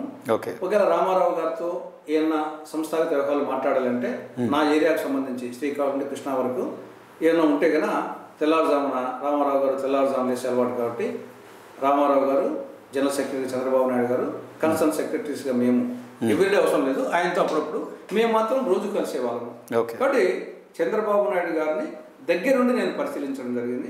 Chandrababu Naidu garu hard worker. Discipline ఉమ్. మంచి దగ్గర క్రమశిక్షణ ఉంది హార్డ్ వర్కర్ కాబట్టి డెఫినెట్గా వచ్చేసేసి ఆ క్వాలిటీస్ కృషి ఇంటూ కసి ఈజ్ ఈక్వల్ టు సక్సెస్. ఆ రెండు ఆయన కృషి అంటే కష్టపడతాడు. కసి అంటే పట్టుదల. కసి అంటే అది వేరే వాళ్ళని కసి పెంచుకోవడం కాదు. కృషి ఇంటూ కసి. ప్రయత్నము పట్టుదల ఈజ్ ఈక్వల్ టు విజయం. నా చంద్రబాబు నాయుడులో నేను చూసింది అతను ఈ స్థాయికి వచ్చడానికి కారణము ఈ రెండు నిరంతర కృషి. ఉమ్. అండ్ పట్టుదల ఆ రెండు ప్రయత్నము పట్టుదల ఉన్నాయి. ఒక క్రమశిక్షణాయుతమైనటువంటి ఆహార నియమాలు కానీ ఒక క్రమశిక్షణ పద్ధతిలో ఉంటాడు. ఇవన్నీ కూడా ఎన్టీఆర్ గారి దగ్గర నుంచే వచ్చి సంక్రమించి ఉండొచ్చు. మీ అందరికీ కూడా ఆ క్రమశిక్షణ కానివ్వండి ఇవన్నీ. కానీ చంద్రబాబు నాయుడు ఎన్టీఆర్ని వెన్నుపోటు పొడిచాడు అని పదే పదే ఇప్పుడు చెప్తున్నటువంటి రాజకీయ నాయకుల మాటల్లో వాస్తవం ఎంతవరకు ఉంది సార్? నిజంగా చంద్రబాబు నాయుడు గారు వెన్నుపోటుదారుడు అంటారా అంటే ఇక్కడ ఆ రోజు పరిస్థితి ఏమంటే మరి రామారావు గారి ఫ్యామిలీలో మనం అంత డెప్త్గా పోలేదు కానీ రామారావు గారికి లక్ష్మీ పార్వతి గారు దగ్గరైన తర్వాత. న్యాచురల్గా అంతకుముందు ప్రారంభంలో రామారావు గారికి కొన్నాళ్ళ పాటు దగ్గుబాటి వెంకటేశ్వర గారు దగ్గర ఉండేవారు. తెలుగు యువత రాష్ట్ర అధ్యక్షునిగా ఉండి చంద్రబాబు నాయుడు గారి ప్రవేశం తర్వాత చంద్రబాబు నాయుడు కొన్నాళ్ళు దగ్గుబాటి వెంకటేశ్వరరావు కొందరు కొన్నాళ్ళ పాటు ఉపేంద్ర వీళ్ళందరూ చంద్రబాబు నాయుడు ఎక్కిన తర్వాత ఎన్టీ రామారావు గారి దగ్గర ఈయన కృషి వల్ల కానీ అల్లుడు కానీ అంతకుముందు మాజీ మంత్రిగా ఉండి ఈ పరిచయాలతో వచ్చేసి న్యాచురల్గా రామారావు గారి దగ్గర నెంబర్ వన్ ప్లేస్లో చంద్రబాబు నాయుడు గారు ఉండేవాళ్ళు. క్యాండిడేట్ సెలక్షన్ అప్పుడు కానీ కార్పొరేషన్ చైర్మన్స్ ఏ నిర్ణయం తీసుకోవాలని కానీ రాజకీయంగా జస్ట్ ఆయనతో మాట్లాడి వాళ్ళిద్దరు కలిసి అవసరమైతే మిగతా వాళ్ళతో మాట్లాడి తీసుకునేవాళ్ళు వన్స్ లక్ష్మీ పార్వతి గారు ఆయన జీవితంలోకి ఎంటర్ అయిన తర్వాత న్యాచురల్గా చంద్రబాబు నాయుడు గారు చంద్రబాబు నాయుడు గారి ప్రాముఖ్యత ఆటోమేటిక్గా తగ్గింది రైట్ అది ఉమ్. న్యాచురల్గా తగ్గింది ఉమ్. ఈ నేపథ్యంలో జనరల్గా కొన్నాళ్ళ పాటు వచ్చేసి వివిధ జిల్లాల్లో వచ్చేసి అందరూ రామారావు గారి నాయకుడు ఒప్పుకున్నప్పటికీ ఆ జిల్లాల్లో ఈ కలెక్టర్లు ఎస్పీలు ఇంజనీర్ల ట్రాన్స్ఫర్స్ కాడ కొందరు దగ్గుబాటి వెంకటేశ్వరరావుని అప్రోచ్ అయ్యేవాళ్ళు కొందరు వచ్చి చంద్రబాబుని అప్రోచ్ అయ్యేవాళ్ళు. ఈ విధంగా కొన్ని జిల్లాల్లో వచ్చేసి న్యాచురల్గా మెయిన్గా అధికారుల ట్రాన్స్ఫర్ కాడ దాంట్లో కాడ వస్తుంటారు. గ్రూపులు అయిపోయారు. గ్రూపులు జనరల్గా ఉన్నాయి. కానీ అందరికీ రా ఎన్టీఆర్ నాయకుడే. కానీ ఇక్కడ గ్రూపులు మాత్రం ఉండేటి. అవును. సరే కొన్ని సందర్భాల్లో ఎక్కువ సందర్భాల్లో చంద్రబాబు నాయుడు చెప్పినట్టే అయ్యేటి. కొన్నిసార్లు దగ్గుబాటి వెంకటేశ్వరరావు పెట్టేటి. కొద్ది ఈ యొక్క కొన్నాళ్ళకు దగ్గుబాటి వెంకటేశ్వరరావు గారు ఈ ఎనభై ఆరు మహానాడు మినీ మహానాడు సందర్భంగా కొంత కమిటీ కురుపులో కొంత దగ్గుబాటి వెంకటేశ్వరరావు గారు నాకు తెలిసి ఇప్పుడు అలిగి వెళ్ళిపోయినారని. చంద్రబాబు నాయుడు గారికి అంటే ఎన్టీ రామారావు గారు సరే వెళ్ళిపోతే వెళ్ళిపోయినలే నువ్వు కమిటీని ప్రిపేర్ చేయమని చెప్పి చెప్పి అనుంటి. దగ్గుబాటి వెంకటేశ్వరరావుకి కొంత సంస్థాగత కార్యక్రమాలకు దూరం కావడం చంద్రబాబు దగ్గర కావడం జరిగింది రైట్ లక్ష్మీ పార్వతి గారు ఎంట్రీ అయిన తర్వాత రాజమారావు గారి జీవితంలో అంతవరకు దగ్గుబాటి వెంకటేశ్వరరావు గారికి కొంత అనుకూలంగా ఉండే జిల్లా నాయకత్వాలు కొన్ని ఎమ్మెల్యేలు వీళ్ళు లక్ష్మీ పార్వతి గారిని అప్రోచ్ కావడం జరిగింది. అంతవరకు లక్ష్మీ పార్వతి గారు కూడా డైరెక్ట్గా ఎంట్రీ లేదు. ఏదో రామారావు గారి జీవితంలోకి అంతవరకే ఉన్నది కానీ పొలిటికల్గా ఆవిడ ప్రస్థానం ఎక్కువ ఉండేది కాదు. ఈ లోపల సరే ఆయన ముఖ్యమంత్రి కావడము తర్వాత ఇంట్లో ఉండడము ఈ నేపథ్యంలో కొన్ని కొన్ని జిల్లాల్లో ఈ విధంగా చంద్రబాబు నాయుడు గ్రూపు లక్ష్మీపార్వతి గ్రూపు ఈ ఆర్డీఓలు కలెక్టర్లు ఎస్పీలు దీంట్లో కాడ వచ్చి ఈ కొందరు ఎమ్మెల్యేలు ఓన్లీ లక్ష్మీపార్వతి గారిని వాళ్ళ జిల్లాలకు పిలిపించేసి అప్పుడు జనరల్గా రంగారెడ్డి జిల్లాలో ఇంద్రారెడ్డి గ్రూపు దేవేంద్ర గ్రూప్ దేవే దేవేంద్ర దేవేంద్ర గ్రూపు. ఇంద్రారెడ్డి ఏమో వెంకటేశ్వరరావు నుండి లక్ష్మీపార్వతి గ్రూప్ అయిపోయినాడు ఇతను వచ్చేసి దేవేంద్ర గౌడ్ వచ్చేసి చంద్రబాబు నాయుడు గ్రూపు అదేవిధంగా నెల్లూరులో వచ్చేసి ప్రసన్న కుమార్ రెడ్డి. తర్వాత ముద్దుకృష్ణనాయుడు చిత్తూరులో ఎస్పెషల్లీ. ఎమ్మెల్యేలందరూ చంద్రబాబు Hmm. ఒక ముద్దుకృష్ణనాయుడు వచ్చేసేసి చంద్రబాబును విధించేవాడు Hmm. లక్ష్మీపార్వతికి కాబట్టి వీళ్ళు ఏం చేసేవాళ్ళంటే వాళ్ళ యొక్క నిరూపించుకున్న దానికోసము లక్ష్మీపార్వతిని కొన్ని కొన్ని జిల్లాలకు పిలిచారు. లక్ష్మీపార్వతి ఆ జిల్లాలకు పోయిన తర్వాత వీళ్ళు బ్రహ్మాండంగా వచ్చేసి వెహికల్స్ వెహికల్స్ పెట్టి బాగా బ్రహ్మాండ అట్టహాసం చేస్తే కల్లా ఆవిడ కూడా కొంత రాజకీయాల్లో ఇంట్రెస్ట్ పుట్టింది. న్యాచురల్గా పేపర్లు కూడా ప్రొజెక్ట్ చేస్తూ వచ్చాయి. అవును ఈ నేపథ్యంలో యాక్చువల్గా చంద్రబాబు చంద్రబాబు నాయుడు గారికి రెండు పోర్ట్ఫోలియోస్ ఇచ్చారు రామారావు గారు. ఏది? ఫైనాన్స్ అండ్ రెవెన్యూ అంటే రూపాయి రాక రూపాయి పోక రెండు వరకే ఉండవు ఎప్పుడు రెవెన్యూ అంటే రూపాయి రాక. ఫైనాన్స్ అంటే రూపాయి పోక. రూపాయి రాబట్టేదినే రూపాయి మళ్ళీ ఖర్చు పెట్టేది. పోస్ట్ ఎవరికి ఇవ్వరు నాకు తెలిసి ఇంతకు రెవెన్యూ ఫైనాన్స్. అటువంటి చంద్రబాబు నాయుడు గారికి ఇచ్చాడు. ఒకనొక సందర్భంలో లక్ష్మీపార్వతి గారు బహుశా కృష్ణా జిల్లాలోనే ఒక ప్రెస్ కాన్ఫరెన్స్లో విలేకరులు ఏదో అడిగారు. విలేకరులు ఏదో అడిగితే మీకు చంద్రబాబు నాయుడు గారికి సరిపోదంటారు కదా మీ జోక్యం ఎక్కువ అంటారు కదా ఏదో ఏదో అన్నట్టే ఆవిడ అదేం లేదండి అదేందుకు అనుకుంటారు ఇప్పుడు ఆయనకు రెవెన్యూ ఫైనాన్స్ మరి రెండు మేమే ఇచ్చాం కదా. అంటే ఆయన ఇచ్చి రామారావు గారు ఇచ్చారని సరిపోయింది ఏదో. ఈవిడ మేమే ఇచ్చాం కదా అనేది అవును. అంటే అంటే ఈవిడ జోక్యం కూడా ఉంది. ఉంది అనే యాంగిల్లో వచ్చింది. బయటకు అది మరుసటి రోజు పెద్ద తాటికాంత అక్షరాలతో వచ్చింది. హెడ్లైన్స్లో వచ్చేసింది. అది చంద్రబాబు నాయుడు గారు "రే, నేను వచ్చేసి లక్ష్మీపార్వతి గారి దయాదాక్షిణ్యాల మీద రెవెన్యూ మినిస్టర్గా ఫైనాన్స్ మినిస్టర్గా ఉండాల్సిన దుస్థితి వచ్చిందని చెప్పేసి ఆ రోజు అదే అతను ఉన్నాడు. ఆ రోజు నేను జిల్లా పరిచయం ఉన్నప్పటికీ అయ్యాను. ఆ రోజు నాకు చంద్రబాబు నాయుడు బాగా క్లోజ్ కదా. ఆయన మామూలుగా హైదరాబాద్కు పోయి కలిస్తే ఎవరు లేరు. రెవెన్యూ మినిస్టర్ ఫైనాన్స్ మినిస్టర్ నుండి ఒక్కడే ఉన్నాడు. పోయాను. పోయినప్పుడు ఆ పేపర్ ముందుగా ఉన్నది మాటలు మాటలు వచ్చి మాట సందర్భంగా వచ్చి చూడు తులసిరెడ్డి పెద్ద ఆయన ఆవిడ వ్యామోహంలో పడిపోయినాడు. చూడు ఆవిడ ఈ- స్టేట్మెంట్ ఇచ్చింది. నా పరువు ఏం కాదు ఇప్పుడు. నా ఉండి పదవులు ఉంటే ఉన్నా లేకున్నా ఆవిడ దయాదాక్షిణ్యాల మీద నాకు ఇచ్చినట్టు ఇమేజ్ వచ్చేసింది అని బాధపడితే ఇది యాక్చువల్గా ఈ విధంగా క్రమేణా వచ్చేసేసి ఇది ఇంత ఇంత ఒటుడు ఇంత అయినట్టు ఆఖరికి ఆయన మనసులో ఏమైందంటే ఇంకా క్రమేణా వచ్చేసేసి రామారావు గారు లక్ష్మీపాత్ర వ్యామోహంలో పడి ఈ పార్టీని మర్చిపోతారేమో ఈ పార్టీ ఏమైపోతుందేమో అనే యాంగిల్ ఒక పక్క తన భవిష్యత్తు కూడా ఏమైపోతుందో అనే రెండు ఉన్నాయి పార్టీ. భవిష్యత్తు. ఆ నేపథ్యంలో కొంచెము ఈ విధంగా కొంచెము దూరం పెరిగిపోవడము. దాని తర్వాత డిసిసిబి డిసిఎంఎస్ ఎలక్షన్స్ ఉన్నాయి ఉమ్, district cooperative central bank DCMS election వచ్చినాయి. అంటే సింగిల్ విండోస్ ఉంటే రాష్ట్ర వ్యాప్తంగా అన్ని జిల్లాల్లో Telugu Desam party single windows majority వచ్చినాయి.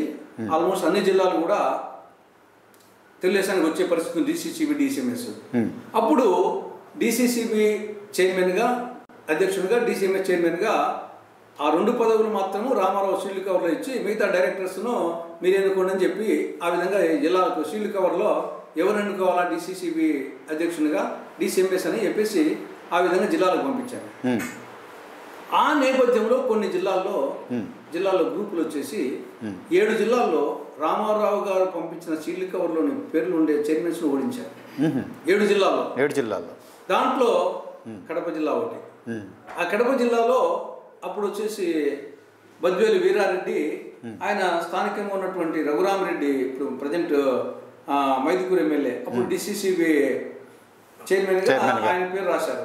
ఆయన ఒకవేళ డిసిసిబి చైర్మన్ అయితే బహుశా నెక్స్ట్ ఆప్కాప్ చైర్మన్ అవుతాడు అనే ఉద్దేశంతో ఆయన ఏదో విధంగా ఆయనకు సరిపోదు కొంచెం పక్కపక్క నియోజకవర్గాలు. ఉమ్, ఆయన గెలిస్తే మంత్రి పదవి గడ్డం వస్తాడని చెప్పేసి ఆ విధంగా ఆ ప్రయత్నం జరిగినాయి. మళ్ళీ ఇది అవుతుందని చెప్పేసి ఆ విధంగా ఏడు జిల్లాల్లో అఫీషియల్ క్యాండిడేట్స్ను ఓడించడం జరిగింది. దాంట్లో కొంత వీళ్ళందరూ కొంత చంద్రబాబు నాయుడు గారిని కొంత సహాయం తీసుకోవడం జరిగింది. అది ఓడిపోయిన తర్వాత పాలిట్ బ్యూరో మీటింగ్ పెట్టి పాలిట్ బ్యూరోలో వీళ్ళందరి మీద యాక్షన్ తీసుకోవాలని ఒక నిర్ణయం రావడం జరిగింది. అప్పుడు లక్ష్మీపాతికి అనుకూలంగా ఉండే వాళ్ళు యాక్షన్ తీసుకోవాలని చంద్రబాబు నాయుడు తొందరపడొద్దు అని చెప్పేసి కానీ అతనికి యాక్షన్ తీసుకోవడం జరిగింది. ఆ నుండి పార్టీలో చీలికలు వచ్చేసాయి. చెట్టు రావడం ఈ విధంగా జరిగింది. అంటే ఓవరాల్గా రెండు ఉన్నాయి ఇక్కడ. వచ్చేసి ఆయనకు ఆయనకు మధ్య గతంలో ఉన్నటువంటి సాన్నిహిత్యము. ఈ సంక్షోభాల మధ్యలో నందమూరి తారక రామారావు గారు మీ దగ్గర ఇలాంటి పరిస్థితి వచ్చింది అని వాపోయిన సందర్భం ఏమైనా ఉందా సార్ గతంలో? ఇది అయిపోయిన తర్వాత ఆయన పార్టీ ప్రెసిడెంట్గా కూడా తొలగించారు నేను వచ్చేసి ఆ నేపథ్యంలో జనరల్గా అందరూ అనుకున్నారంటే నేను రామారావు చంద్రబాబు నాయుడుకి నుండి క్లోజ్ కదా. నేను ఆ స్ప్లిట్ నేపథ్యంలో నేను చంద్రబాబు పక్క పోతాను అనుకున్నారు కానీ నేను పార్టీ వ్యవస్థాపకుడు ఎన్టీఆర్. ఇంత డెమోక్రటిక్ పార్టీ అయినా ఆయన ఇటుక ఇటుగా పేర్చి కట్టుకున్న ఇంట్లోకి మనందరము తలదాచుకోవడానికి పోయినాం. మనకు చనిపో చనిపోకుంటే మనకు సరిపోకుంటే మనం బయటికి పోయి ఇంకో ఇల్లు కట్టుకున్నాం తప్ప ఈయన ఆ ఇంటి నుండి బయటికి తరిమేయడము ధర్మం కాదు. అనేది నేను ఒకనొక సందర్భంలో చంద్రబాబు నాయుడు చెప్పాను. కొంచెం ఎట్ట ఈయన అంటే ఆ ఆ సందర్భంలో అన్న ఆయనలో పరివర్తన తెచ్చడానికి ప్రయత్నం చేస్తాం. నేను రాజీనామా చేస్తా చెప్పి చైర్మన్గా మీరు కావాలి రాజీనామా చేయండి. ఆయనలో పరివర్తన వస్తే మంచిదే.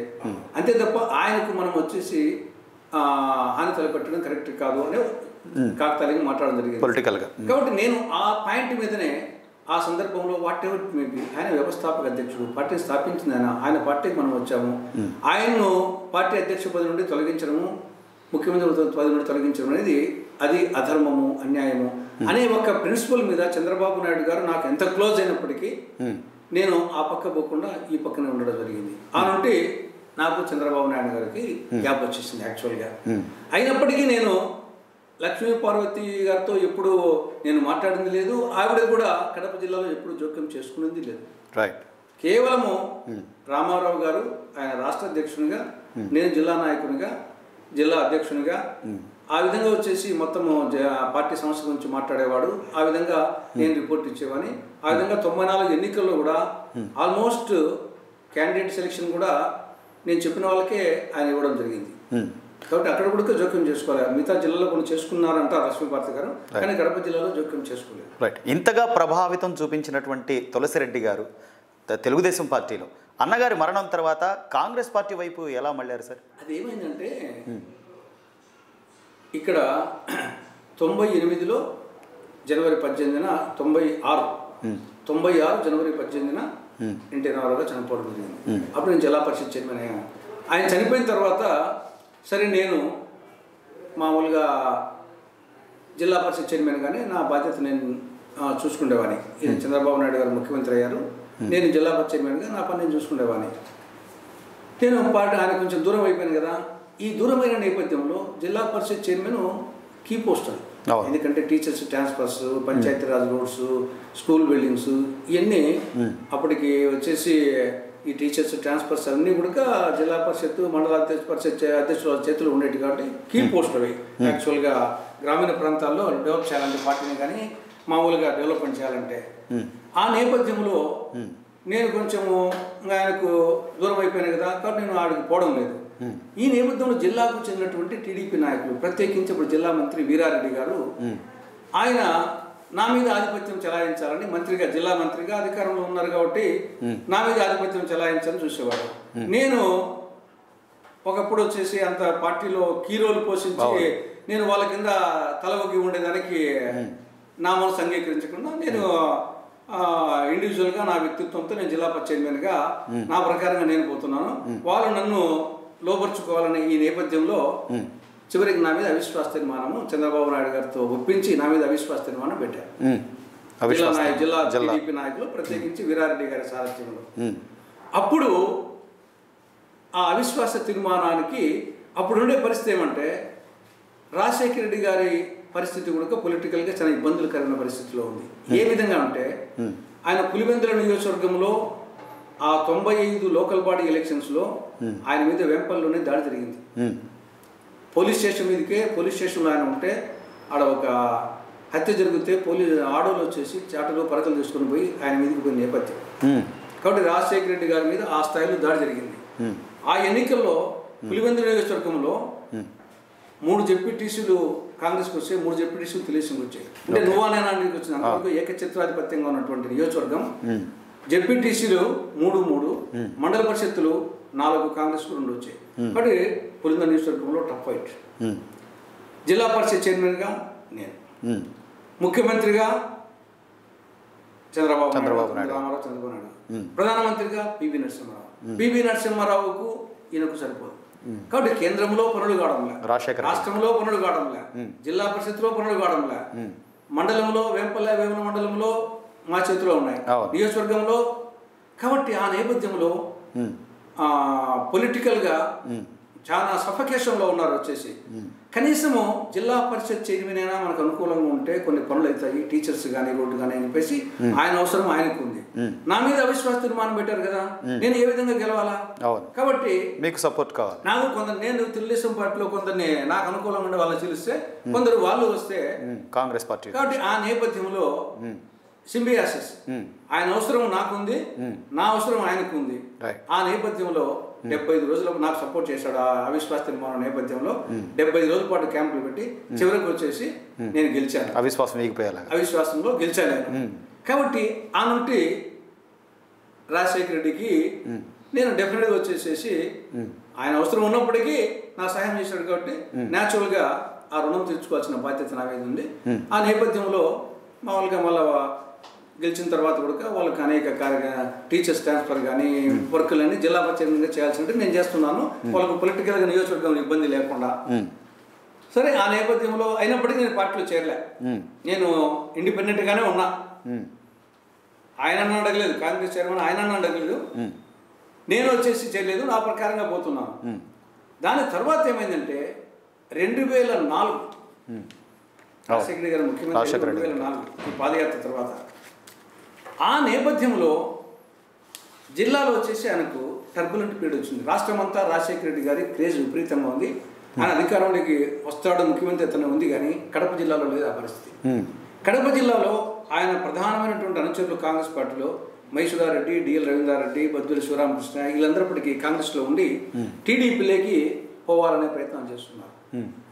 వాళ్ళను ఒకవైపు నిలుపుకుంటూ కౌంటర్గా వచ్చేసేసి ఆ స్థాయి స్టేజ్ నుండి వాళ్ళకి కావాలని చెప్పేసి చెప్పినప్పుడు నేను అప్పటికే రాజ్యసభ మెంబర్గా ఉన్నాను జిల్లా పరిషత్ చైర్మన్గా అయ్యాను. ఆ యొక్క అవిశ్వాస తీర్మానంలో నేను ఒక హీరోని అయ్యాను. విదారెడ్డి మీద బద్దుల విదారెడ్డి అంటే చాలా ముండోడని. రాజశేఖర రెడ్డికి రాష్ట్ర వ్యాప్తంగా క్రేజ్ ఉంటే కడప జిల్లాలో బద్వేలు వరకు బద్వేలు వీరట్ అంటే ఈయన మొండి మానవుడు ఏమైనా పట్టుకుని సాధిస్తాడు అనే ఒక పేరు ఆయనకు ఉంది అటువంటి. మొండోని మీద. గెలిచాడు తులసి ఆ విధంగా ఆ క్రేజ్లో ఉన్నానమాట ఆ నేపథ్యంలో ఓ రోజు ఉన్నట్టుండి ఉదయం పది పదిన్నర పదుకున్నప్పుడు రాజశేఖర రెడ్డి గారి ఎస్టేట్ మా వేంపల్లి మండలంలోనే మా వేంపల్లి దగ్గరనే. ఆయన ఆయన సత్యమణి విజయమ్మ గారు ఆ వేంపల్లి మండల కాంగ్రెస్ నాయకులందరూ సడన్గా వచ్చేసి నాకు చెప్పుకొని ఇంటికి వచ్చారు. వచ్చేసి రాజశేఖర రెడ్డి గారు నన్ను డాక్టర్ అని పిలిచేవాడు. డాక్టర్ ఈ విధంగా జిల్లాలో జరుగుతుంది. నాకు రాష్ట్రం అంతా బ్రహ్మాండంగా ఉంది. కొంత జిల్లాలో ఇబ్బందిగా ఉంది. ఇక్కడ ఎంపీ సీట్ వచ్చేసి రేపు మా తమ్ముడు వివేకం నిలబడతాడు ఈ చూస్తే ఇక్కడ మైదుకూరు కొంత కమలాపురము బద్వేలు ఆ రెండు గ్రూపులు ఏకమైతే కొంత ఇబ్బంది కలిగే పరిస్థితి వస్తుందేమో. కాబట్టి ఈ నేపథ్యంలో వాళ్ళ కోసం నేను ప్రయత్నం చేస్తూ నిలుపుకున్న దానికోసం ఈ నేపథ్యంలో వాళ్ళకు ధీటుగా సరిబుజ్జిగా ఉండే నాయకుడు వచ్చేసి నువ్వే ఇప్పుడు. నువ్వు ఇప్పుడు కాంగ్రెస్ పార్టీ చేరితే నాకు మోరల్గా చాలా Support weight ఉంటుంది. అన్నప్పుడు నేను చెప్పాను అన్నా నువ్వు నాకు జిల్లా చైర్మన్గా నాకు అవిశ్వాసంలో హెల్ప్ చేశావు. నీ రుణం తీర్చుకోవాల్సిన బాధ్యత ఉంది. నేను ఎందుకన్నా రాజకీయాలు సాధించుకుంటున్నాను నేను వ్యక్తిగతంగా చేస్తాను. ఏదో రామారావు ఆశయాలకు ఆదర్శాలకు ఆకర్షణ నేను రాజకీయాలకు వచ్చాను తప్ప నేనేమి ఆ, ఉద్దేశపూర్వకం వచ్చింది కాదు. ఏదో అయిపోయింది నేను చూశాను. నేను నీకు మాత్రం రుణం తెచ్చుకోవాలా? నీకు నేను వ్యక్తిగతంగా చేస్తాను అని చెప్పాను. అప్పుడు లేదు లేదు డాక్టర్. నువ్వు వ్యక్తిగతంగా చేస్తావు కానీ దానికి పెద్ద ఇంపాక్ట్ రాదు. నువ్వు కాంగ్రెస్ పార్టీలో చేరి చేస్తే నాకు ఉపయోగం ఉంటుంది. నేను ఈ ఇష్యూ ఈసారి కన్నా మిస్ అయితే నేను మళ్ళీ ముఖ్యమంత్రి కాలేను. దిస్ ఈజ్ నాకు లైఫ్ అండ్ డెత్ ఈసారి ముఖ్యమంత్రి అయితే అయినట్టు లేకుంటే కాదు. కాబట్టి ఇంకా ఏం మాట్లాడదు నా మీద ఏ మాత్రం మనం ఉన్నా నా రుణం ఏ విధంగా తీర్చుకోవాలనుకున్నా కానీ ఇంకా మీరు ఏ మాట మాట్లాడకుండా కాంగ్రెస్లో చేరి నాకు హెల్ప్ చేయాలా?